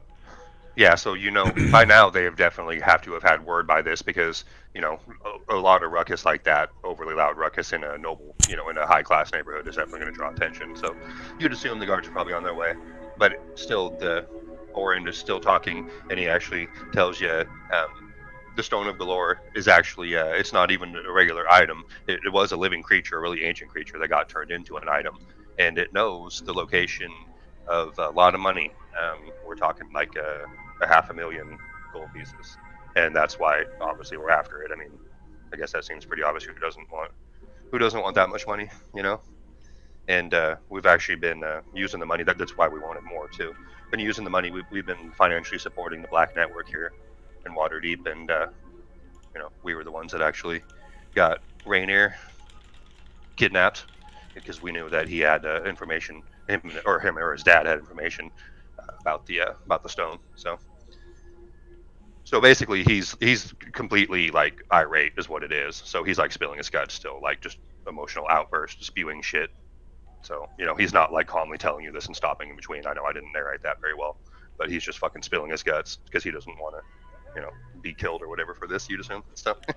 he doesn't know if you guys are city watch or what, but he's just fucking letting it all out. So. What is what is the lady doing? What is Yalah doing? Is she just like? I guess what is her reaction to him saying all of this?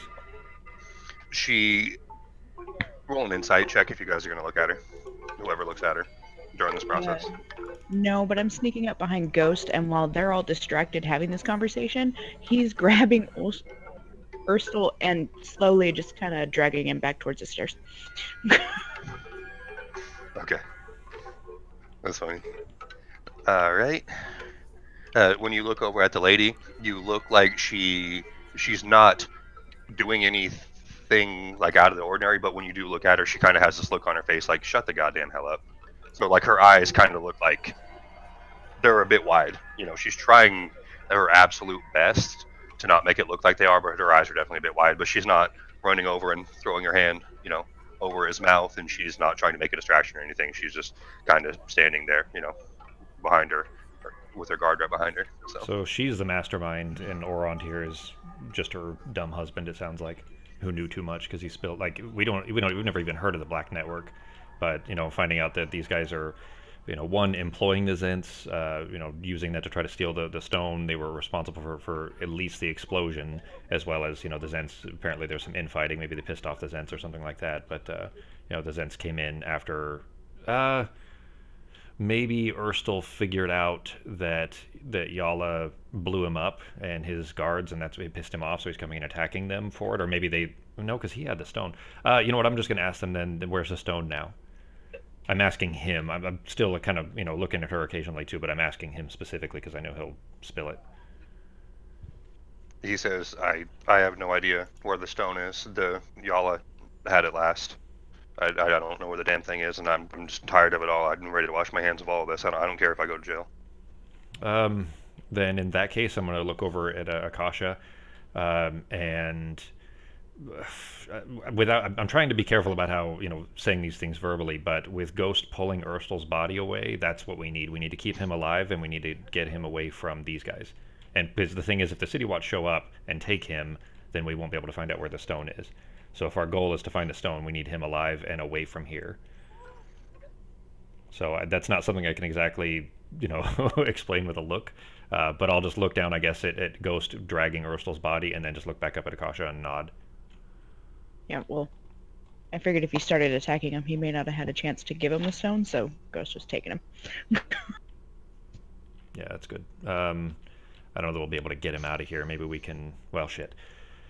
Uh, I guess you know if I if I run a distraction with the City Watch when they show up as much as I can, just trying to keep their attention. Um, if Akasha and Ghost can sneak away with Urstul's body somehow, maybe you know get him, uh, maybe out to the guardhouse or something like that where we can question him. I don't know. But is uh, is Urstul uh, he's conscious, right, or is he unconscious, just alive? He's unconscious when and he's stable. stabilized after that. Yeah. So Okay. if we if we basically heal him one HP, then he's conscious and, and tied up. He's basically hogtied. Okay. So he's tied, and Ghost is gently dragging him out, so you don't whack his head and take that last HP off or whatever and kill him. And So, drag him down the stairs. Thump, Exactly. He whacks his head every stair and dies. he's fucking dead. So, and uh, so okay, so you guys are kind of slowly moving Urstul away, and uh, she, the lady, um, or actually first, yeah, actually you can from where you're at, um, go ahead and give me a perception check, G, and actually Eldor too. Jesus, I can't roll anything above a five. I had a natural one on my insight roll.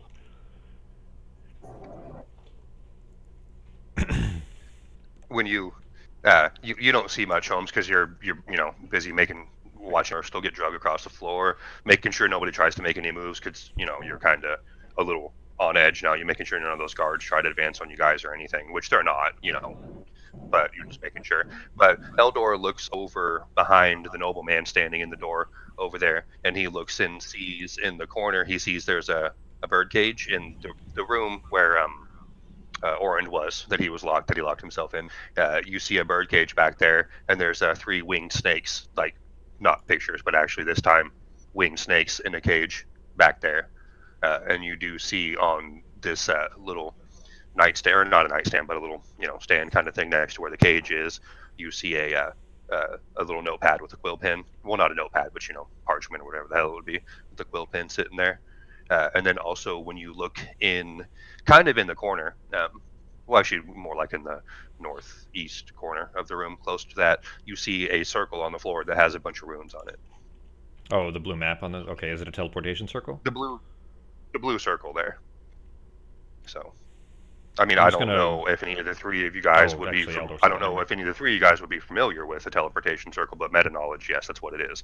But in game, I don't know if any of the three of you guys would know what that is. I don't, you know, not really sure if you guys worked close with mages or anything before, but out of game, yes, it's a teleportation teleportation circle.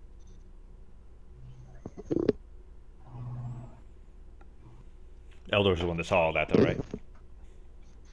Yeah, you didn't notice it, G, because you were distracted keeping an eye on the guards out of the corner of your eye. Eldor wouldn't know what that is either, right? I, I mean, for the most part, clerics aren't going to really work around teleportation circles, right, G? That's more like wizards. Usually. Depends on depends on how common they are. I mean, if, if this is your you know your setting for it, and that's really going to be the deciding factors if they're common enough that people would recognize what they are. I mean, they are they are you know exactly that. So they would be used by people outside of just mage circles, but uh, meaning you know not just mages use them. Uh, but how common are they is the question. Okay. so, I mean, I, I'm guessing that um, it, at least you'd have possibly somewhat of an idea. So, what, like maybe roll an Arcana check, G, to see if how much you actually understand or not, kind of thing. Maybe. Yeah, Arcana check would probably be yeah. Arcana check would be maybe for whether you'd recognize what it is or not. Can you give Arcana check? Yeah, I think that's good enough. And you, you do have, you know, magical capabilities and stuff. So you look over there, and uh, you're pretty sure that that uh, teleportation circle. So you're guessing that this must be the uh, communications room. So All with right, I'm gonna just kind of snakes you saw with the notepads. So. I'm gonna s- kind of slow, uh, quietly tell Rav kind of what I see in that back room. Uh, if he if he doesn't have a good view of it, I can see it. Okay. Um, all right, then I guess with that knowledge, I guess we'll just ask Orond, uh, uh, what is the purpose then of these? I mean, if you've got notes back here and flying snakes, I mean, are, are you guys a part of those interims yourself?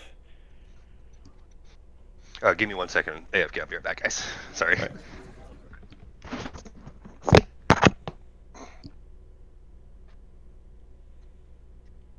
Out of narrative for a second, I don't, I don't, I'm not sure. I guess where we go from here with it. If we, if we can get uh, Urstul out of here, we could find out potentially what he did with the stone because he stole it off of the off of the corpse last we knew, right? That's the last location of the stone that we're aware of. We can figure out the Well, teleportation Because thing. the Teleport him. in. Yeah, but the husband said the wife had it last. Maybe he brought it here and gave it to her.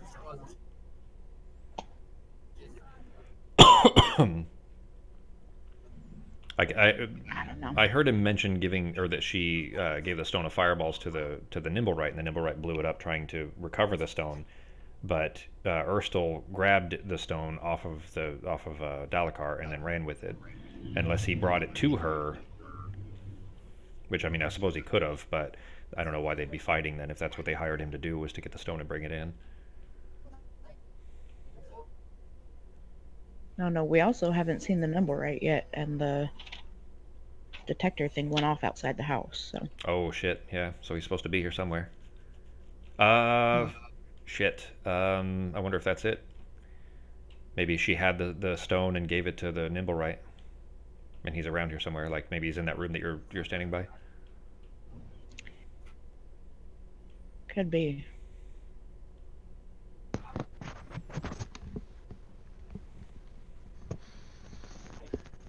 Okay. Sorry, what was that question, G? Are they are they part of the Zhentarims? Well, two things. First, is Eldor's uh, uh, umbrella beacon going off still? Not anymore. It went off when you guys uh, got close to the wall, and then it went off when you guys were in the yard still, like during the confrontation with the man and the dogs, and then uh, it's pretty much it. It hasn't gone off in a little while, but it did when you guys first got here. I can get a straight answer out of them. I mean, meaning that they wouldn't be able to lie, but with them, ha- with her having, she's the one that we would need to ask this question of, and with her having five guards behind her, we'd probably have to incapacitate them first. That the sound is is gone again, G. Yeah, is it just not looping or something?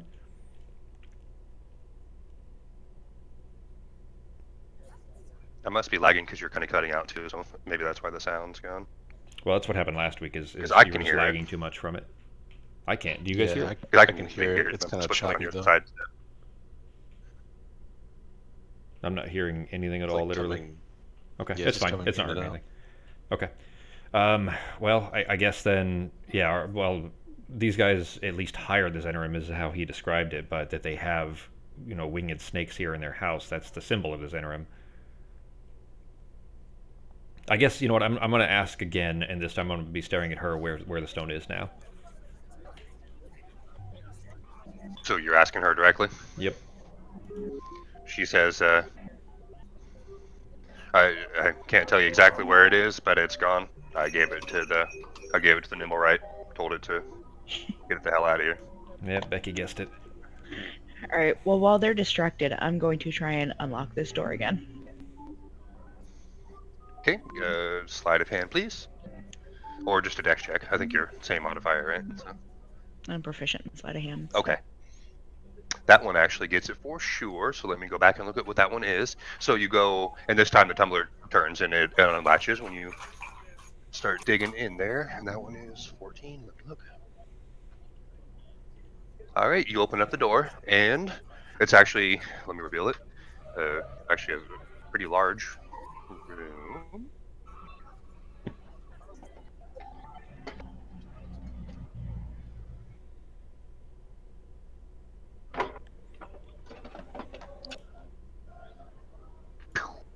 And it is, I guess it doesn't have any icons or anything in there, but it's a ballroom. So you look in there and there's mirrors all along the wall. Uh, there's some chandeliers, really nice.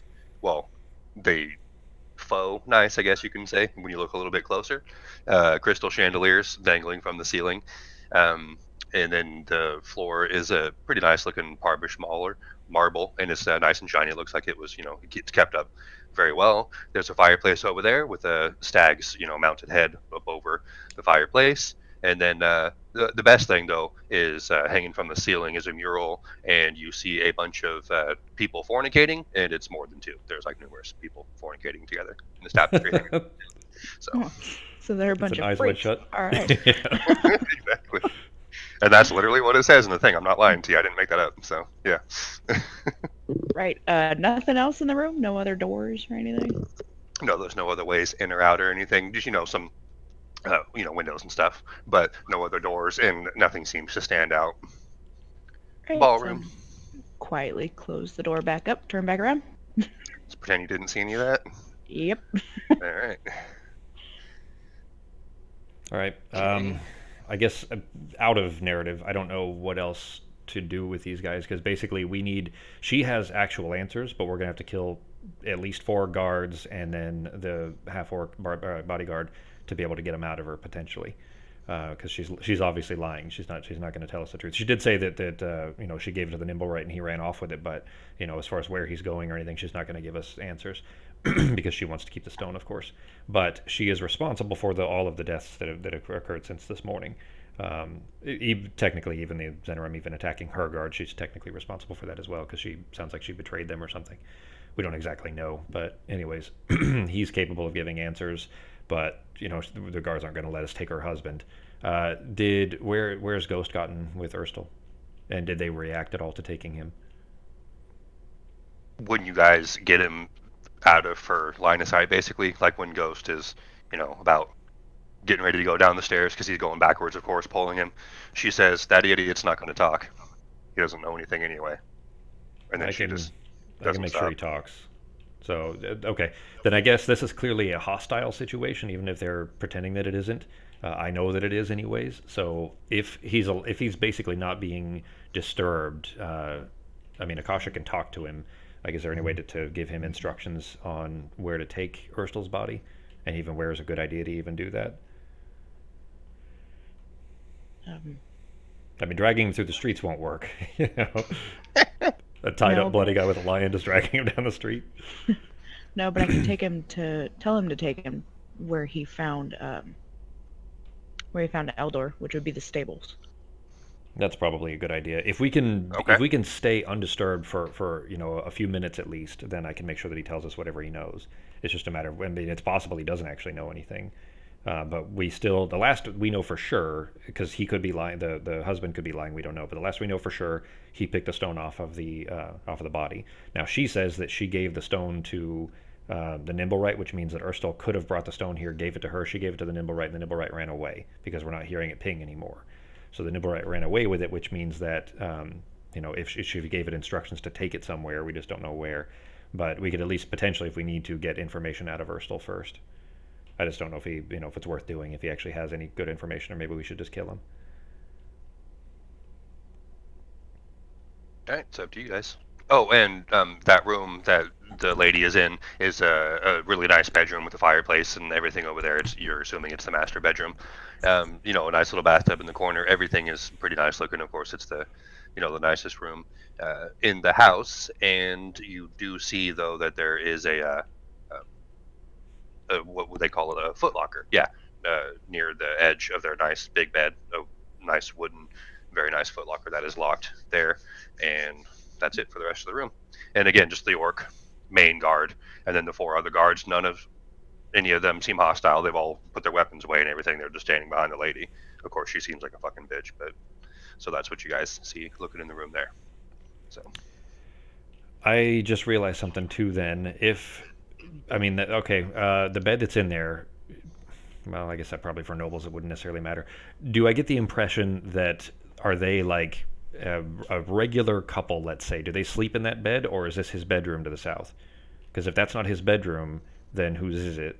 Or, or this this communication room, I guess, not bedroom, but uh, communication room. Uh, was like does Urstul because we we were told at one point that he lived here and then that he didn't. Remember? um, Like, is he stationed here? Is that like an office for him? mm, I'm curious if we should search that, that room basically and just you know tell them to, to fuck off. Um, well, when you look over in the room, there's also a really nice mahogany standing up uh, wardrobe in there too, and the doors are slightly ajar, and you see men's and women's very nice clothing hanging on hangers inside there.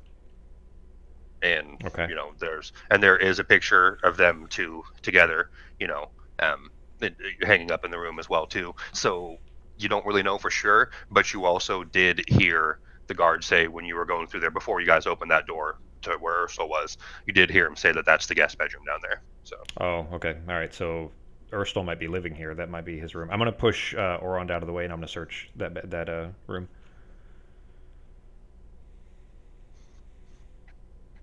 You said there was a notepad in here. Like, is there like, is it empty or are there notes written on it? No, there's there's nothing on it, but when you look at the pad, um, again, that you don't even really need to roll for this one. When you look at the pad, you can see the imprint a little bit from the page above it being written on, so it's used for sure. And you see the there's three winged snakes in a cage, you know, again, and then there's that teleportation circle over there. So you would assume that uh, those are like carrier pigeons would be your estimation. So. I'm gonna take a piece of charcoal out and then lightly rub it over the page so that I can read what was written on the, the paper above it. Okay, let me take a look. Let me read for a second and see if I can actually, if there's actually anything in here, because I think there is still more Okay. information. So I'll see if I can mix that into right there. If you roll weird? a one, it's gonna be a dick butt. exactly. I rolled a couple of like I had one natural one a little bit ago, but I rolled some really awful rolls today, so wouldn't be surprising. Every time I've done a skill check, the fight ones, most of the rolls were fine. I did, I got a two with one of my spear attacks, so that sucks. But any any skill checks have been pretty awful. When you uh, charcoal over it, actually, uh, I'm going to. So I change this. You don't actually see. Well, there are some words, but you see um, drawings, and it looks like somebody was drawing a map. That's the last thing that was on there. So there are some words, but it's it's a map. It, loo- it looks like it was somebody trying to draw a map. That's the last thing that was on there. Does it look familiar at all? Or like I guess is this a map like like streets, you know, with houses and stuff? Like I guess is there any anything that I might be able to use to identify where it is, or what when you look at it, it, it's an urban map for sure. It, uh, streets, buildings, that kind of stuff. So Does it look and- and- and when you- the streets that I know? uh, when you look at it, it doesn't look like any specific area, but you would assume it's Waterdeep because you know each town has their own way of, uh, you know, the, the way the streets are shaped, you know, and stuff like that, and like the, kind of the grid, you know, kind of thing. So you can't tell where it is, but you're pretty sure it's uh, somewhere in Waterdeep. So Okay. It might be where she told him to take, told the Nimblewright to take the stone. Or it could have been to tell him where our bar is, basically, to, to where he threw the fireball. It could be either of those. Uh, I'm going to search the room, though. Any Anything in the drawer, stuff like that? let me double check. I think that was about it, but let me double check though.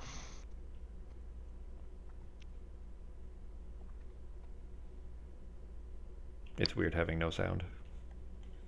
Like, I don't know that it, is, it, is it normally weird for you guys, or is there, like, I guess, is there ever places when you guys are playing that, is it, that it's quiet, or like, if I just have the volume down too low or something? I don't think It is- so. No, I don't think so. it doesn't seem odd on my end right now, but I'm also concentrating on reading and stuff. So if I was not and I was just waiting, then it would be kind of like eh, it seems oddly quiet. Yeah, that's exactly what I was wondering. Is, is as the DM, you know, if you wouldn't notice it as much as the as the players would.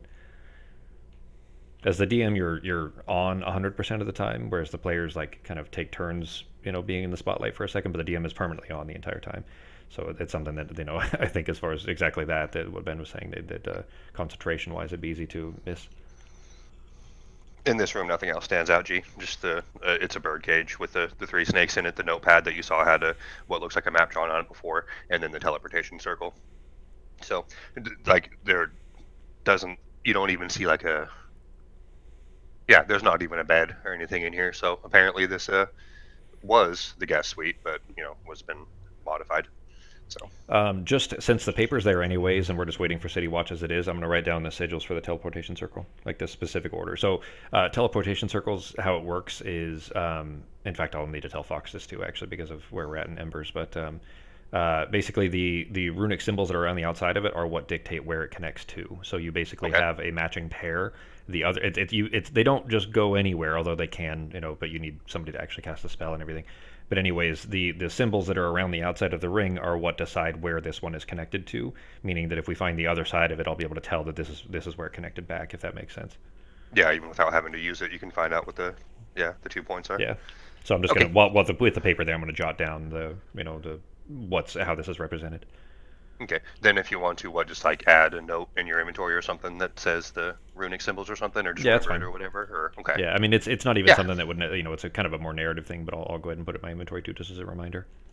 Yeah, just in case it does pop up. But yeah, nothing else stands out in that room. So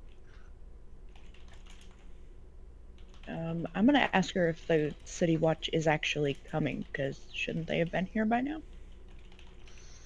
the she says they they better be coming after all this trouble. I don't know what the hell, or got up Urstul's ass over here. But Uh, we never searched him. Shit, we need to we need to check his pockets. How good is Ghost at looting? start sniffing shit out, pull it Um, out. He's got great perception with his nose. Yeah. So- Maybe I mean if the, if the city watch are coming anyways, we need to check his pockets. Um, the others, I'm not too concerned about checking the the regular Zhents because they probably don't have much beyond you know whatever a few coins or something. But uh, maybe Urstul has a you know a note or a key or something that might be useful. Are you guys Mhm. still take? Are you guys still? Is Ghosty still in the process of get, taking him out to the stable? Is that where their destination still is, or what? Yeah. I'm Okay. assuming he's probably like what halfway down the stairs by now. Yeah, he's making a decent way. So he'd Yeah, actually I'll be like just- inside the house still, but I- I'm just gonna, you know, say that, you know, he's on his way. So But- All right. Well, then I'll just you know walk down the stairs and check while Ghost is pulling him. okay, It's going to be an awfully interesting trail though, because there'll be just this massive blood trail of you know Urstul's bleeding wounds as he's dragging it down the stairs and then out the, out the front door, all that stuff. What you don't like art? That's a pretty interesting art installation of all the dead bodies in this house. Yeah, oh, I, didn't even notice. I was you- just gonna say there's a VA. That was a VA for Urstul. I didn't even notice that. So sorry. So he was a little bashed up, but again, it, his wounds until you guys whooped his ass weren't like impeding him or anything. But he was wounded. So So the how he's burned there is that from the fireball explosion that blew him up. You see how his face is all burned up and he's smoking. yep. So I mean, you don't know for sure, but that would be a pretty decent guess because obviously that looks like a pretty fresh burn. So Okay. Wonder how many You guys could ask him. eats. Uh, investigation. yeah. Okay, that's actually pretty good. Let me double check.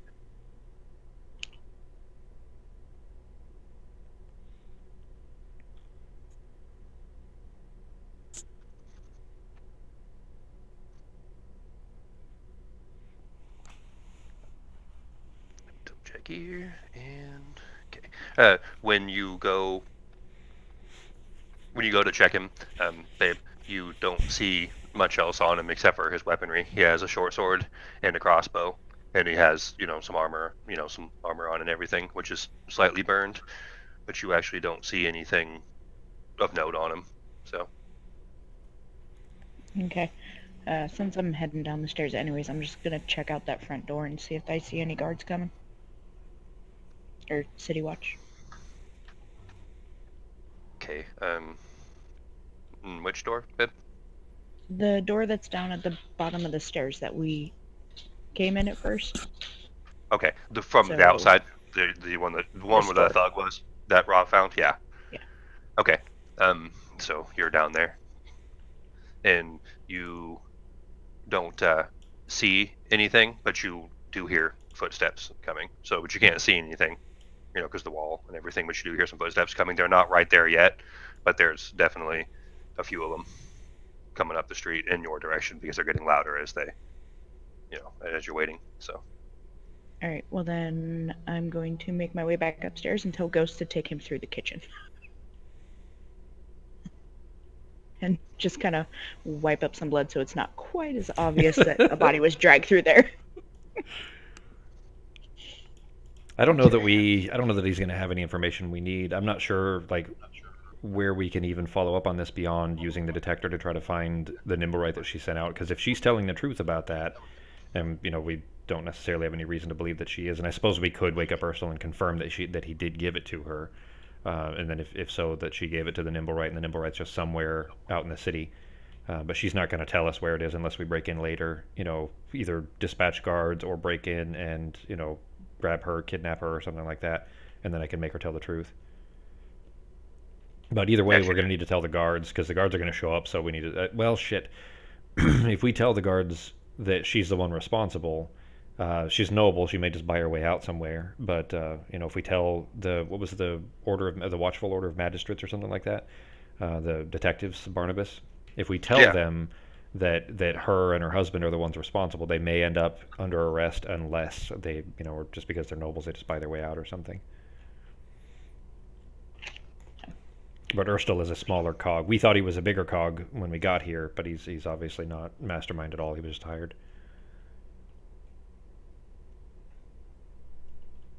Yeah, it's up to you guys. So if you want to, you can take a minute to wake Urstul up and see if he'll talk before the guards get too close. It's your choice. Uh, and then if you want to wait for the guards, you can. But also, you don't know like what the hell they're going to think. So I mean, it could go good, it could go bad. But either way, it's up to you guys because you guys know you didn't do anything wrong, but doesn't necessarily mean the guards are going to believe you. So it's your guys' choice if you want to wait uh, to actually see them here on site or what. You know. Well, we can we can tie him to a chair and, and wake him up and ask him, and then just you know give him to the guards. I I, I would probably want to kill him, but if the guards are going to show up shortly anyways, I don't want to be, you know, mid murder when they show up. Guards frown upon torture. Well, I don't know that we even need to torture him necessarily. I mean, I I have a specific kind of a poison that's that's uh, for making him tell the truth. All right. So um, where did you guys want to stop him at to do that? It's your guys' choice. Probably So- in the stables. Okay. So. All right, then we will say that you guys are all down in the stables. Let me take a look here. All right, so you guys have him in the stables. Um, I guess if you wanted to, you could just tie him up to one of the little, you know, dividing wood wood wall things in between where the horses stand or something, to where he doesn't, to where he can't get away. So Those are usually slats. Yeah, that'd work perfect.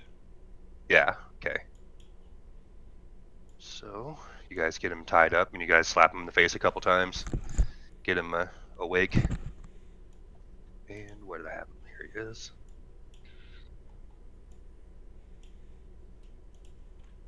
And he pops up and he says, Oh shit, I thought I was fucking dead. Why'd you guys, uh, why'd you guys even bother to bring me back up? I figured, you know, just leave me there. Oh, I don't I don't mind sending you on back if you're ready for that. I just had a couple questions first to see if maybe you could save your own life. Eh, well, guess I don't have too much choice. I, I don't know a whole lot, but I mean, I think I'm done uh, working for these assholes. So I, whatever. What do you guys want to know? Where's the stone? Uh, that's what I came for. Came after the, uh, came in there to try to get the stone, and uh, you know they didn't like that very much, so they sicked their guards on me. And of course, I brought some help with me because I knew I was going to need it. So that's what started that big fight there. Uh, and then I saw the lady give the stone to this weird looking fucking puppet thing, like man puppet thing, moved really weird, and it ran off. I didn't get a chance. I was trying to go after it, but I was stopped by the guards, so I have no idea what the hell that thing got off to. You didn't hear her say anything to it? She handed it a piece of paper and handed it that stone and told it to go. So the little map thing that I charcoaled out could be directions then that uh, you know she gave a piece of paper. It could have been what I took the map of. He says, uh, yeah, uh, more than likely it would have been uh, pictures instead of words. They, some of the more intelligent ones can read, but they understand pictures better. So, if I had to guess, I'd say it was a map. Yeah. Well, uh, insight check to see if he's telling the truth or not. Because I don't know Go if I want. I don't want to waste my poison. It's expensive Go ahead and roll. for a specific reason. So 19. Oh yeah, sorry. It should have been tower anyway.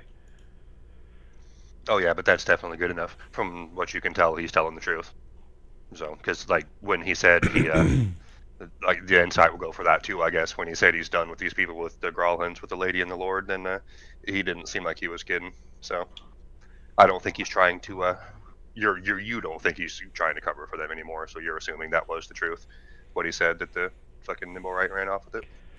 Well, while you're being so forthright, um, and you know forthright with the information that we're asking here, uh, where does that teleportation circle go? What were the winged snakes for? He says, "Mm, "Well, you know what? Again, I don't like them, even though this is a. Well, no, I'd be dead either way. Fine, I'll say it. That teleportation circles goes to man. They're gonna kill me for this. It goes to Kolat Towers. Do we know this place? Have we ever heard of that before? You know, I would have to double check. I think it's. It's uh the kind of thing that you, you guys would uh know, like see the tower and everything like that. But I'm not sure if it's uh known that there's like mages in there or whatever you'd want to say. So like teleportation kind of stuff. Uh, I don't really know. So, but either way, though, you guys you have heard of Kolat Towers. It's, it's, you know towers in town, so I'm sure you know where Kolat Towers is. Yes. So again, I don't know if you know any details about it, but or if you knew that I had any teleportation circles until now. But yes, you guys would know where that is. So What was your Let me bring that work here with with the Gralhunds? Was it just they just hired you to find this stone? It seems like if you had an entire room set up, a teleportation circle built, this is a lot of expense. Not that recovering the stone wouldn't potentially cover that, but uh, it seems like why would they give you an office essentially if you were just here for There- that? well, this is the uh, the Gralhunds are not the the top tier of the chain. Not even close. And who is? Put it that way. The You're gonna die anyways, whether it's by my hand or theirs. So you could at least He buy said- yourself a, a you know a short while of freedom until they they find you. he says, "All right, and give me one second. I'm actually pulling that part up here." He says, "Just just give me one second here. I guess I don't have any damn choice, man. This is gonna get me so killed." So just let me look up the info here real quick, though. Okay. I'll untie his hand so he can flip through his reference manual to find the answer. Yeah. Do you guys have any questions for him too? Out of out of narrative for a second. Um, There we go. Okay, sorry guys, didn't mean to cut you off there. He says, uh, yeah, it's uh, let me see, it's uh the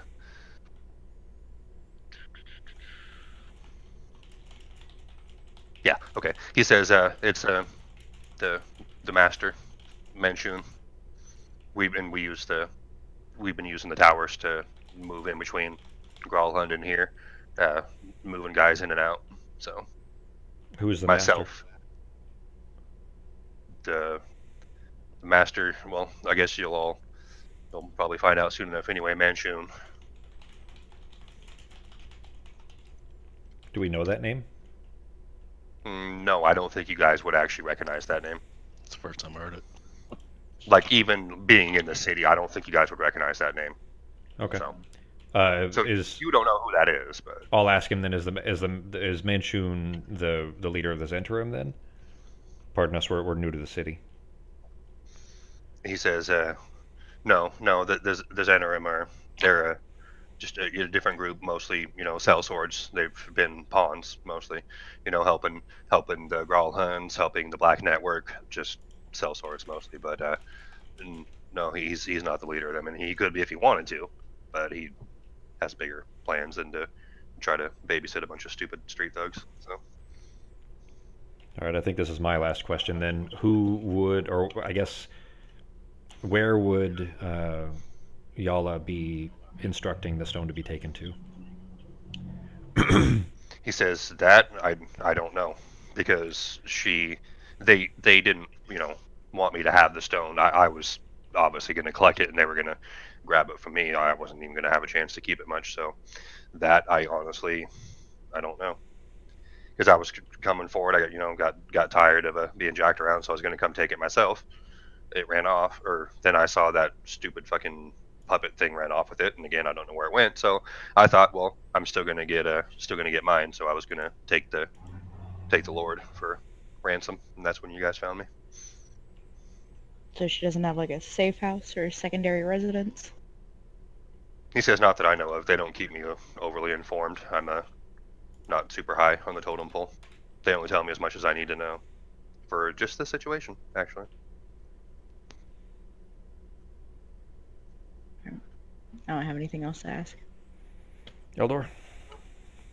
I think you guys covered most of it. I mean, at this point, it's more about just a little bit of looking around. Well, what do you think? Do we leave him tied up here for the City Watch to find? Did you say that out loud? Yeah, I'm asking Eldor and uh, Akasha. I mean, got, we heard boots. We heard boots, so I mean, they should be here anytime now, if not already, in the courtyard. Yeah, you actually hear boots moving past on that the, the wall to your guys' is uh, east. You definitely hear boots over there, and they've passed you a minute ago, so you're assuming they're going around to the gate. So, because that's the yard, and obviously that side street goes up and then turns west, and then that's where the gate was that you guys came through. That you guys jumped over, and Akasha opened the gate. So, and but he speaks up and says, uh, "I vote you let me go." Out loud, I'll say, if uh, you're no longer useful to us, we could just leave you here. Says, eh. Yeah. I vote we leave him for the guard, and he can just confirm that she's the reason that shit blew up in front of our tavern. That is true. So I guess then, okay, all right, that's smart. Uh, the next question then is: Are we going to tell the uh, uh, the city watch and the magistrates, Barnibus? Because if we're going to talk to them, we can just drag him back upstairs and you know use him to to confirm that. Uh, and kind of give all the information over, and then they can just do with it as they will. If they're not going to arrest her, I think I might just try to sneak in later and kill her. I agree. Yeah. All right, then if that's the case, then I guess we, you know, leaving him tied. But is, is he? I mean, he's conscious and he can presumably walk now. So you know, with his uh, uh, wrists tied behind his back, walk him up at, at Spear Point back up to where the you know upstairs, wherever the where the City Watch are basically. Uh, I guess so. The City Watch are here. Then did Barnibus show up? Barnibus and I can't remember the other guy's name. We didn't get the other guy's name. Okay. That's probably Actually, why I didn't note it then maybe I forgot to give it to you guys because it, it, did name the other guy. So I'll um, the next time you guys encounter them, I'll definitely give it to you. Or actually, I'll go back and look at it. Well, and then tell you guys next time. But uh, yeah, you guys did catch the other person's name too. So the magistrate guys, yeah, they're the ones that were doing the investigation. You know, because it was arcane nature. They figured out outside the explosion outside the tavern. So. So does do the two of them, or, or at least you know one of them anyway, show up? Let me see. Actually, I mean, right about that time, of course, then the gate opens because it was still open. I don't think you guys locked it again.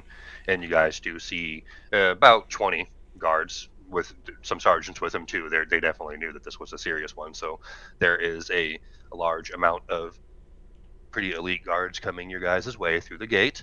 And you guys look and do see your friend, Barnibus. And it'll have the other guy's name here in a second. Let me find it. And you you do see the same two fellers that you saw at the fireball explosion. Barnibus and yeah, I forgot to give the other guy's name. Uh, Saeth. I'll spell it out. Uh, Cromley. Okay. There we go. And and that was your guys is uh, the guy that you met and talked to before, Barnibus.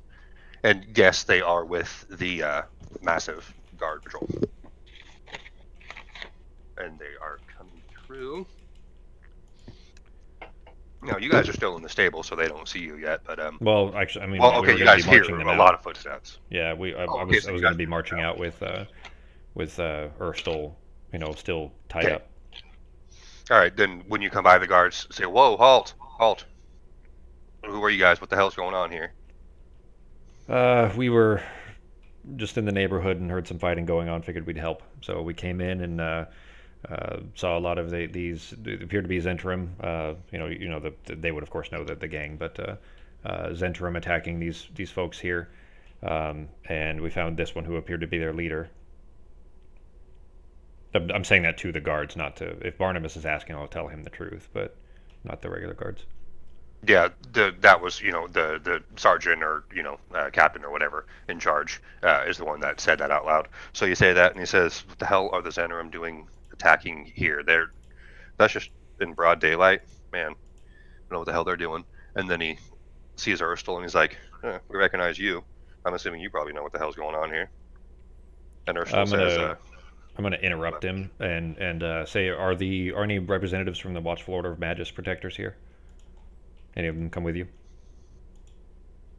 He says, uh, "Yeah, by chance." And he turns around, and you know they're coming through the gate now. Barnibus and Saeth are coming through. Says Barnibus, the these folks were asking about you. So, because I mean, you know, he he's the guy from there. I know you didn't say his name, but so Barnibus and Saeth come over, and they're like, "Ah, hey, nice to see you guys again." I'm going to ignore the guard and walk Urstul over to Barnibus and Saeth. Okay, and say what? I'm sorry. Oh, just ignoring the guard and taking him over to them. Um, well, we, we did, uh, as you suggested, and, and uh, track down what caused the explosion this morning. Uh, and I'll just kind of reiterate all of it that um, uh, Yalah Gralhund uh, gave her um, gave a, a necklace to her uh, Nimblewright, who threw that down there, caused the fireball, killed all those people. Uh, Urstul here stole a, a valuable artifact, and he does, he's actually the one that told us about the stone, I think, anyway. So stole the stone off of uh, the the gnome that had carried it, that was trying to bring it to us. Uh, then, we don't know the series of events exactly, but presumably brought it back here to give to her. She then gave it to her Nimblewright again. The Nimblewright has run off with the stone. We don't know where it is. But that's the series of events, meaning Yalah was responsible indirectly, but responsible for the explosion as well as all the deaths here in the house. Uh, you're going to find uh, 10 bodies in there. No, 11, because there were 8 on the floor in the downstairs and then uh, the ones upstairs. So some sent some some of their you know the Gralhund's guards, and then Urstul here, who we kept alive so that he can confirm the story for you. But again, Yalah's responsible, so she's the one that should be. Both her and her husband should be uh, taken under into custody as well. Barnibus sits there. He doesn't even. He still. He looks perplexed the entire time.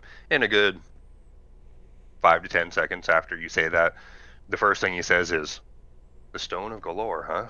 Wow. So like you know all the bodies and everything. That's the one thing that he you know is the the one thing that he's uh, thinking about. And he says, "Wow, uh, such a such a magical artifact. Uh, that's great." Um, and then uh, he says, I, I wonder what they would want to do with it. And and the lady, a noble lady, getting interfered with all this, that must be something valuable.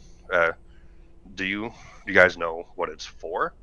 And he's looking over at all you guys, and Nurse will do. So. Hmm.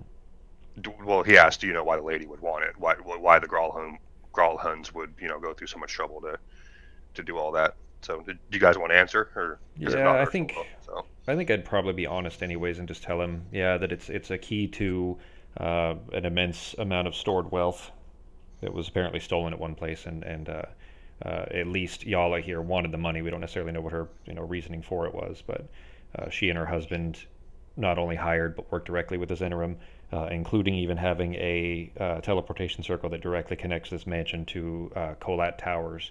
Um, and were apparently either working directly for or at least reporting to Manshoon. So presumably could be trying to get the stone to try to, to give him the money. We don't know.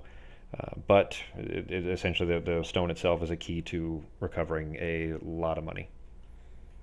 Barnibus says, "Well, that makes sense. It's always about the almighty dollar, isn't it? Well, almighty gold piece." and then he says, uh, "But that's that's odd, though. Uh, teleportation circle. That's you wouldn't really think of. Uh, what would the Gralhunds have a teleportation circle for? You know, I mean, they don't seem to know anything about the arcane arts that I know about. And uh, peeps up and says, uh, "I know something. They're they're uh, they're a little different than you think they are. You know that footlocker in, in their bedroom. That one has uh, some robes in there. Uh, I've never seen where they go or exactly what they do, but uh, yeah, I've seen some uh, religious artifacts and some robes, and um, doesn't look like it's your friendly religions, if you know what I'm talking about. Looks more like your, uh, you know, scary demon kind of religion thing. I, I, don't really follow it much myself, but like a cult. They're, they're, they're odd. They're they're, they're uh, not exactly what you think they are. they're a little different. And Barnibus says, uh, "What the, a cult and teleportation circles and lots of well, wow, this is a lot to comprehend." And he kind of just gets quiet, you know, thinking for a second. Him and and Saeth is over there, and he, you know, and he's I'm assuming he was, you know, obviously part of the conversation. He was talking to you guys too about that stuff. Uh, and then you guys, every, every once in a while, um, a couple of words are missed. Oh, you totally got the overall, but a couple of words are missed because there's actually two Griffin riders circling above in the air. They're not landing, but They're circling the neighborhood and over there. Yep. The the police birds are up in the sky, so so they are circling around, looking around too. Well, I mean that's all the information we have at least at this point. So I mean, uh, we're probably gonna, you know, unless you guys anything, unless there's anything you guys want to do, Akasha and Eldor, we'll probably head back and just turn over Urstul to the to the authorities here. I'm good. All right, so you guys told them about what you know and everything. So, um, are you guys just gonna head out and you know get back to the tavern and go check on everything, or did you want to do anything else. That was, I mean, it seems like we've at least tied up this bow as best we can. I mean, we don't know where the stone is, so, I mean, the next step, if we're going to try to track down the stone ourselves, would be to kind of go around the city and see if we can get the, the ping to go off to try to find Plus, a Nimblewright. But we don't even know if it's retaliation. Yeah, I mean, potentially, if these two are not taken into, if the the Gralhunds are not taken into custody, we could always try to sneak back in here later, and you know, uh, uh, inflict justice as needed, I guess, if that's uh, important enough to you guys to do that. But uh, spin the wheel of karma. Yeah, uh, I mean, I'm I'm kind of I'm curious about what that cultist. Uh, it sounds like a cult. It, you know, it sounds like they're in a like a, a eyes wide shut kind of a cult, right? Because we saw that ballroom thing with the stuff that's up there, and then they're you know they're not who they pretend to be, etc. So, but I don't know that that would be part of the you know, if if, the, if that's part of the actual adventure or just us kind of screwing around having fun, and that would force Ben to improv, which isn't necessarily a bad thing. It's just you know that's harder to do for a new DM. So. No, I don't care. Yeah, you guys do that. We'll get something figured out. So. Uh, uh time wise, oh, though, you... go ahead, G.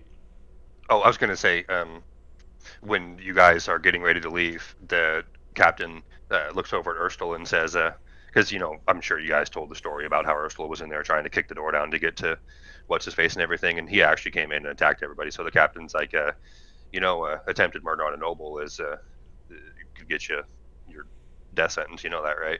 And Urstul's like, eh, I'm a dead man anyway. I don't give a shit. But he's just not even resisting arrest, letting him take him out. So. Um, I guess then, as we're about to leave, then I'll ask Barnibus and uh, and Saeth then. Uh, so, do you intend to take Yalah and Orond into custody as well? Everyone here is a, suspect essentially. I just I've I've seen you guys here. We've questioned you guys. The captain was here because the question, you know, the, the, captain was talking to you guys too as well. It was mostly Barnibus and Saeth, but the captain was there and Urstul was there and said the story and everything. So you guys are not, you were suspects at first, but they had a chance to question you right there. So you guys are not suspects, but uh, unless something changes, but everybody else in this entire fucking place is because they still don't even know. You told them what's going on, but they still haven't even had a chance to fully investigate yet. So he says, uh, until further notice, uh, the Lord and Lady are going to have to be questioned too. I mean, they were attacked on their own home grounds, but uh, you, never know what could be going on. And uh, if your story's true, maybe they're not as innocent as they seem. So yes, they will be they'll be questioned for for sure. All right. Well, I mean, if we're needed, we'll be. You know where to find us. We're back at our bar. Says thank you again for the information. You guys seem to be uh, a lot of help to me. So thank you. Yeah, don't forget to check that ballroom upstairs. It's weird. He says, uh, "Okay, sure. Um, I don't, I don't dance much, but uh, we'll make sure we check the entire place. It's kind of our job." It doesn't So, look like like, he he knows doesn't- anything was going on in there. Yeah, he doesn't get that you're making a joke. He's like, you know, too serious of a person. He he doesn't catch the joke, but so he says, "Oh yeah, we'll, we'll thoroughly investigate everything. We always do." So All right. Well, I guess we. If there's anything else we need to do, we can. But otherwise, we can head back to the bar, um, and you know, kind of settle in. I suppose that then out of narrative. Then um, is there like is that the end of the chapter? no, there actually is a little bit more, but it would continue on when you guys have decided, you know, what you're doing from here. So you know, it's like in the days following kind of thing that it continues on.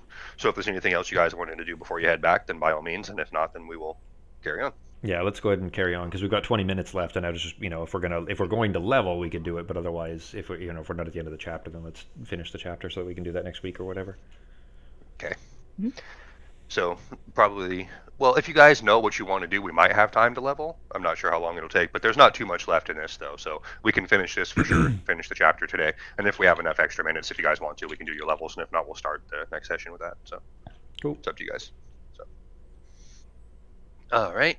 So um, when you guys are back, you guys get back to business, and you know go in and check on Woody and uh, Sancho and everybody, and everything's uh, pretty standard. But in you know in the next few days, you have people coming in and out, and they're obviously heard about what happened. They've been referring to the incident at the Gralhund Villa. It's now known as the Gralhund Villa bloodbath, so it's kind of like a famous event now, and everybody's been talking about it. And um, you know, you have people that you know eyes and ears kind of thing. You have have friends going in and out, and they've been hearing about uh, the City Watch has actually really been putting a real hurting on the uh, Black Network and the Zhents. So they're finally getting serious about it in the, the days after the Gralhund Villa bloodbath, because apparently it becomes you know serious when you mess with rich white people. So let me see, and um, actually I'm not sure. I'm not sure if you guys came across that name or not, but you know, there's been uh, even some bigger named people uh, from the Zhentarims and, and the well, you don't know much about the Black Network, but stuff like that, names that they've been questioned about. And now, ever since then, the uh, it seems like the Black Net Black Network is starting to lose favor with people because they've been, you know, everybody hears about what's been happening, so they're kind of starting to fall apart, even though they don't really want to. So, and give me one just second, or give me just one second here. Okay, and so in the days leading up, you guys see that, and you know, you guys, your friends are coming in out, and you know, uh, one of your guys' friends, of course, is Big Jerry and Little Jerry, and you guys are standing there one day, just you know, just uh, checking out your bar and everything, and uh, when the door opens, you see something flying through the door, and it lands over by a table, and Little Jerry instantly gets up and starts like flock, you know, kind of like half chicken flying, and like gawking and squawking and everything, and going over towards what just flew in and landed on one of the tables. You guys gonna go check it out? And Yeah. Big Jerry stands up like, "What the hell is that thing?" And he's he looks like all freaked out, like he's, you know, like if he had a dress on, he'd be like on a stool, holding his dress up and like dancing up and down, you know, like he saw a rat kind of thing. What is it? So, so you guys head over there and you see, which you've seen, you saw one a few days ago, uh, one of those flying wing snakes, and it has a uh, a note written on it, tied to it. Looks like the we got some mail, folks.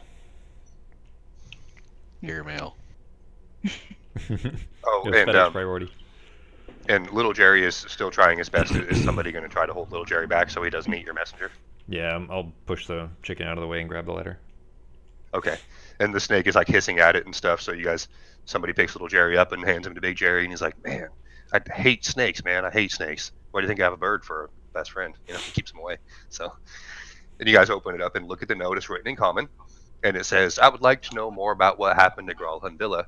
If you can spare the time, meet me at Ahghairon's, hang on, I'll spell that out, sorry, Ahghairon statue in the City of the Dead at High Sun tomorrow. You'll be paid generously for your time and trouble, and it is signed Istrid Horn. The City of the Dead is the uh, cemetery area. Hang on, we've heard that name. Uh, let me check my notes real quick. Uh, Eldor found a letter regarding a loan from Istrid Horn to Emmek, so the the competitor guy. Uh, she loaned him 150 gold. Ah, that's where that name was. I knew I heard that one.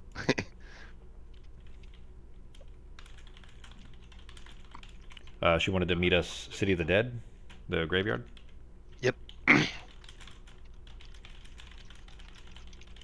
Was that today or tomorrow at uh, High Sun?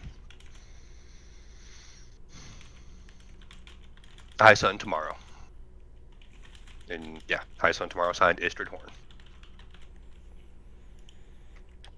Well, sounds like we've got a meeting.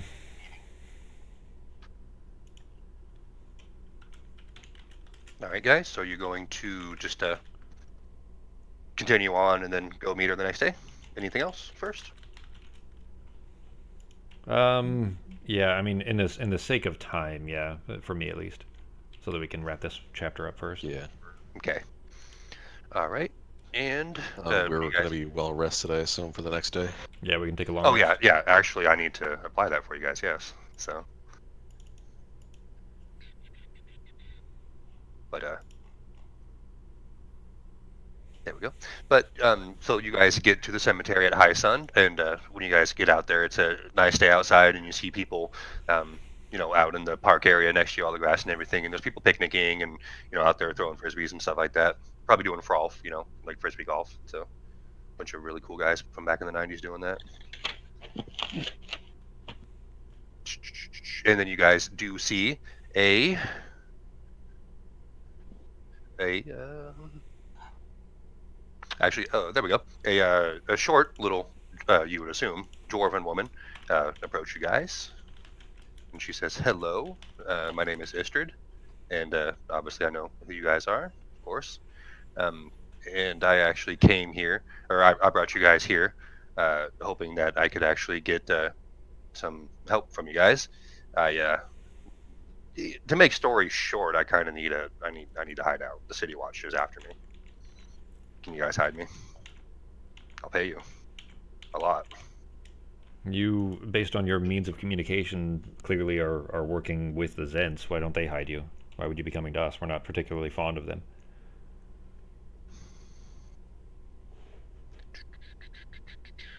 I will have to wreck on that one later, so that way I don't sit here and wait forever reading through that, because it didn't say anything about that part. But uh, I mean, the the winged snake, yeah. So I guess that well would make it seem like that, but I don't know if she actually is or not working for them. I, again, that's what I have to look up. So, okay, okay, I got you. I honestly don't know. So I don't, I don't want to have to make you guys wait. So I will wreck on that one for you guys later. But uh, so, but for now, she says, I mean, whether she's lying or not, she says, I don't work with the Zhents. What are you talking about? I just, the city guard just doesn't like me. I, I, need, I, I can tell you about it later. Just, I just need some a place to crash. I really do. So, right, and I know apparently the city watch doesn't. They seem to think you guys are, you know, nice or whatever. They don't think you're criminal. So I don't think they're going to be poking their nose around your guys' tavern then I'm gonna I'm I'm making an insight check here. Um, so basically, because I'm, I'm, suspicious of her of whether she's actually working with the Zhents or not. So once you know for sure, then you can fill that in of whether or not I believed her. okay. Do you want to go ahead and do you want to just do the roll next time, or do you want to just do it now? And I'll oh, write it down. I'll do it now. Okay. Um. I. Eh, shit. I'm trying to decide if I should use my determination or not for it. I'm just gonna roll it. I was gonna trying to decide if I wanted to use it with advantage or not because I've been rolling shitty on skill checks today. Yeah, not much better that time. Fifteen. Okay, we'll remember that. But one thing she does tell you though, she doesn't. Let me see.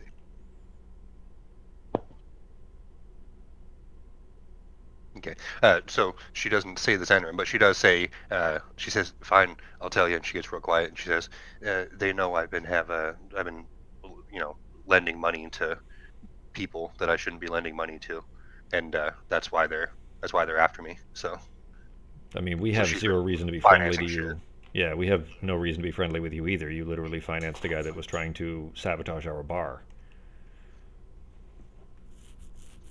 I mean, I'm sure at the time you didn't realize that might come back to bite you in the ass, but why would we try to help you when you literally funded a, a guy that was trying to, you know, destroy our bar?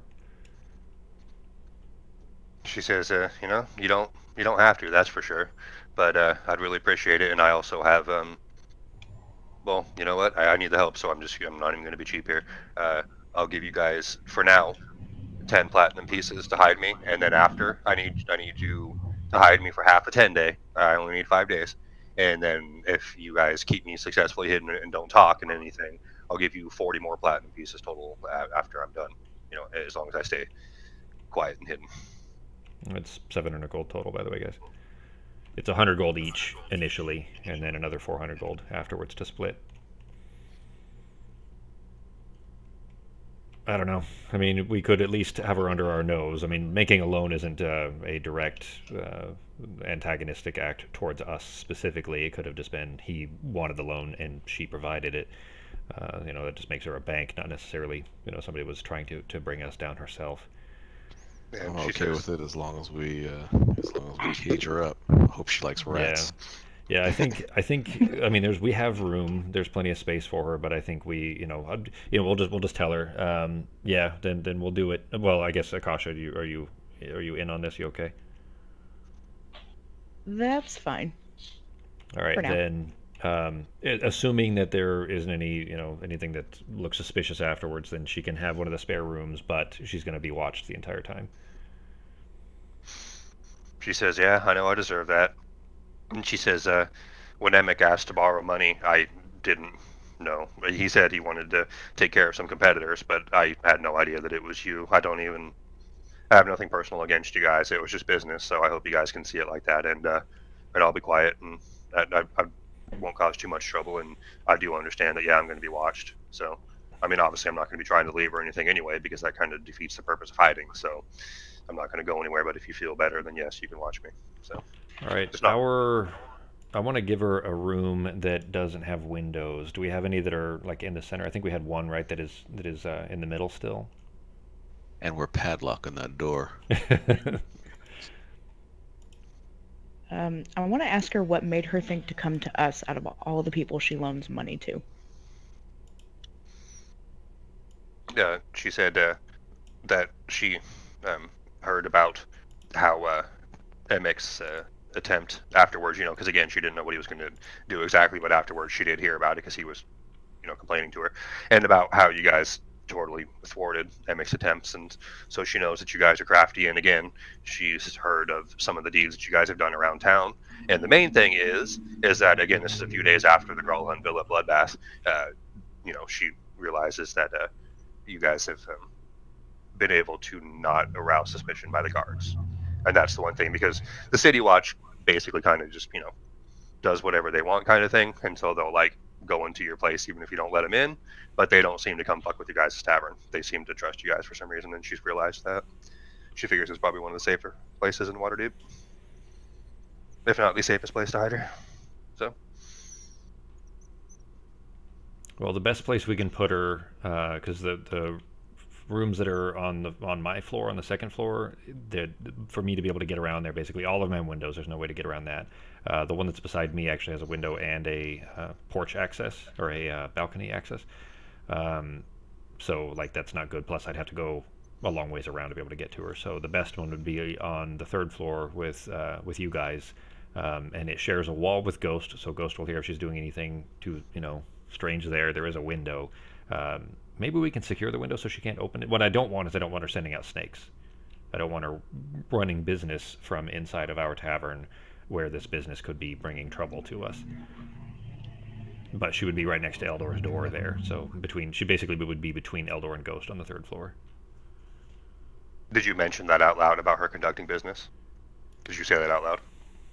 Yeah, I think so. I think I would just say, well, you can under the stipulation that you're not running business from inside our tavern she says, nah, because again, if I run business out of there, then there's a trail that could be coming back in there. And that's and that's exactly what we won't allow. Yeah, even if you don't trust me, you know, I don't want to get myself busted. I mean, I, I don't want to get you guys busted either. You know, whether or not you believe that, but I could give my own location away doing that. So, no, that's not going to be happening. I'm truly going to be laying low, In fact, what I'm going to do, I actually have myself a good, a really good disguise kit. I'm going to make myself look like a man instead, you know, beard and all the whole nine yards, and change my temporarily change my name. I'll go Jorn. That's what I'll go with, and uh, I'm just going to lay low. And uh, if you want me to, I'll even do some chores and stuff, and then like you can just say that you hired me or something. You know, maybe I'm a new employee or something like that. I'll sweep the floors, whatever. I don't give a shit. You know, pay you guys back for being so cool to me. Oh, and by the way, she says, um, uh, and also, you know, since, since you guys are, you know, so cool and and, and just not going to tell everybody that I'm hiding out here, not going to tell the Zhentarim. So your role would have been good enough. I did read a little bit further, so she does have an affiliation with the Zhentarim. So because it says that if you guys were, because you guys could have chosen to join the Zhentarims if you wanted to, and you could have you would have gotten more renown for hiding her. So Ah, so she Okay. is friendly with them at least in some kind. So so she did she did mention that and says I know we don't we have a one of my friends good friends is an enemy of yours, but uh, maybe we could still work together. She said that earlier. So I heard good friends is an enemy of ours. Who's who is this? This enemy? Yeah. Oh, just in general, not a specific person. Yes, yes, yes, yeah. Okay. And she says, but uh, I'll you know I'll make myself look like a man and I'll try to act like a man, you know, and uh, sweep. Do I can be a barkeep? I can wash the dishes, whatever. You know, just make it look like I'm working there for you guys. All right. Well, I'll, I mean, I'll say this to Akasha and Eldor. Um, she doesn't know who Woody is, but I'll say um, we can have Woody keep an eye on her, because of course that means you know 24 hour, uh, making sure that she's not doing anything, and, and she wouldn't be able to see him. So That's a good idea. All right. Well, it, it sounds like this is an amenable offer. Um, I suppose we can do this. If, if, you know, five days seems reasonable. Uh, but if anything occurs that is uh, untoward or certainly brings any suspicious on on us, then you know we can uh, adjust the agreement as necessary. No funny business. I'm watching. She says, "Yeah, now's uh, now's not the time for me to be doing any funny business. So I promise I'll be good, and I'm good for the money. I'm absolutely So, good for the money." And she that- hands you guys ten platinum pieces, Okay. and four. He says forty more, four times that when uh, after the half the ten day Is that each or the 40 more, or is that just another you know f- total? total. Okay. So, so fifty platinum pieces total. Ten now, forty later. Well, it's 10 each, right? Hmm. All right, fine. Ten each now, and then just forty total. uh, You know, after that. I mean, I'm not made of money. All right. Well, it's 100 gold each right now, and then and then uh, another 400 to split later. Okay. uh, I'm still out of my initial question though. Then was why why are you coming to us to hide you? I mean, you have friends amongst the Zhents. Don't they have better places? You just don't want to sleep in their sewers. She says, well, they did, but ever since the bloodbath over at Gralhund Villa, City Watch has really been cracking down on them in the Black Network, so there's uh, not a whole lot of places to hide for them anymore. And uh, I'm hoping I don't get brought down with the whole rest of the damn group. I'm guessing they're all going down from the way things are going. including Manshoon, and I'm just staring at her to see what her reaction is when I say that name. Roll an insight, please.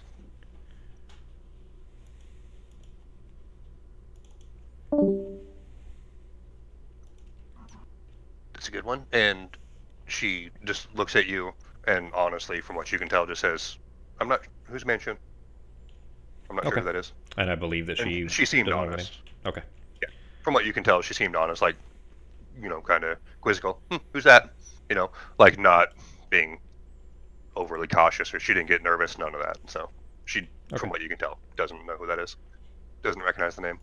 Well, I mean, because. I was, I was just, I wasn't sure if Urstul was telling the truth about Manshoon not being part of the Zhentarim or not. But uh, you know, she doesn't know who he is, and either he just disguises himself and uses a fake name or something, maybe, or he's just, you know, not part of the Zhentarim. Okay. All right, then I guess in that case, then we agree, uh, and we'll set her up in that upstairs, you know, room. Um, uh, on the map that I dropped in Discord, it's the center one on the right. So basically, just south of Ghost and north of Eldor. That one. Okay. It does have a window, but I think we would probably secure that window so that it can't be opened. It may not be openable anyways. I don't know, but uh, secure that so it can't be opened just in case, and then uh, ask uh, uh, Woody to keep an eye on her. Okay. And uh, I think we tell Woody the truth of who she is, Um, and then we tell the rest of the, the people, you know, Sancho and everybody else in the bar that it's that his name is Yorl and it's the you know just a dwarf that we're going to hire on to help out. Okay, that was going to be my question. As if you guys were talking to Sancho and, well, I know you wouldn't talk to the patrons, but you know, because so Woody knows the truth, and then Sancho just thinks that it's just Jorn. The new, Oh, Jorn. Okay. yeah, whatever. It doesn't really matter. But the new male dwarf, uh, I guess you can say um, you know, server or you know cleaning staff or whatever the hell you know, hiring hand, hired hand. So Okay, that works for me. and everything goes off without a hitch. So um, we can actually just, if you want to, we'll just add the money now. Because again, as long as you guys don't, you know, rat her out or fuck with her or anything like that too much, then everything, the, the half a 10 day goes off without a hitch. And that is the end of the chapter. So Okay. Hmm. I wonder how that's like. Where is that going to play in later? I wonder.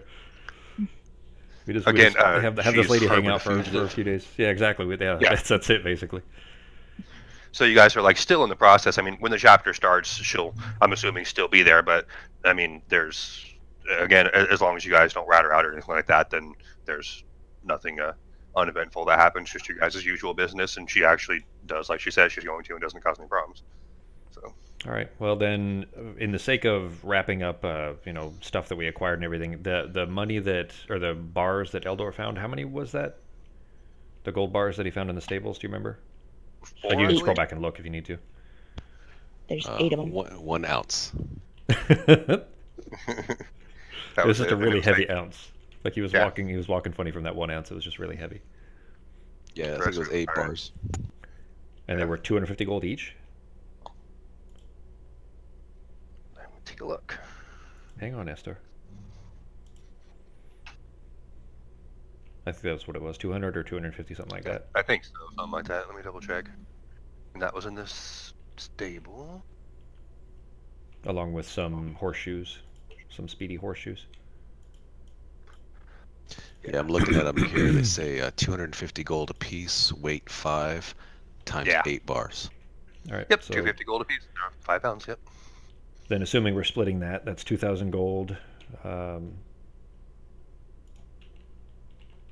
so that's 666 gold each, um, and then plus the platinum. Oh, I guess I could just do it that way. With the well, add the 10 platinum for everybody, but the extra 40 platinum. I'm basically everybody got 10 platinum, and I'm just going to add the uh, the 40 platinum in for the for the uh, uh, split up, which is I think 800, right? Let's see. Yeah, so 800 gold plus the 10 platinum, if we count the bars plus the plus the uh, platinum that she gave us initially. So 900 gold each total. Yep. Okay. You guys want to add that, or you want me to add it? I put it on mine. I put the 10 Okay. platinum and the 848 gold. You guys are Um, rich now. we're you know out of time anyways. Sako, do you know what you like? Do you, do you already have a plan? I guess of what your next level looks like, or do you want to do that next week? or you can look it over, you know, and then tell Ben, and, and he can do it or something. Yeah, we can just if you guys want to take a look this week and take care of it. I know what Uh, my stuff is. Mine will only take a second. Sako's the only one that's it's uh, you know time constraint. Yeah, I'll take a look at it this week and then let Ben know. Um, if you could, just uh, add that gold pieces to me and we'll be even. Okay. Sounds good. Uh, I want to ask Dell about a like a magical means of disguise. If there's any magic items he's familiar with that would uh, uh, allow one to disguise oneself. Okay. I know there would be anyways. It's just a matter of what he might have available. I guess this would be more of a species question. Uh, Eldor, does he have humanoid feet or is he still kind of bovine?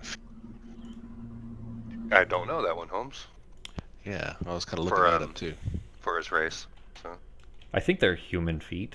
I would. I can't imagine they'd be hooves. Let me look. What's the out of curiosity? Are you like looking for boots? Are you looking for? Are you seeing if you can put on these horseshoes? Is that what you're trying for? If you have hooves, you can wear these horseshoes. Yeah, if I'm hooved and I have uh, horseshoe-like feet, then I can uh, boost speed 30 feet. I'll be a, a fast uh, pack mule.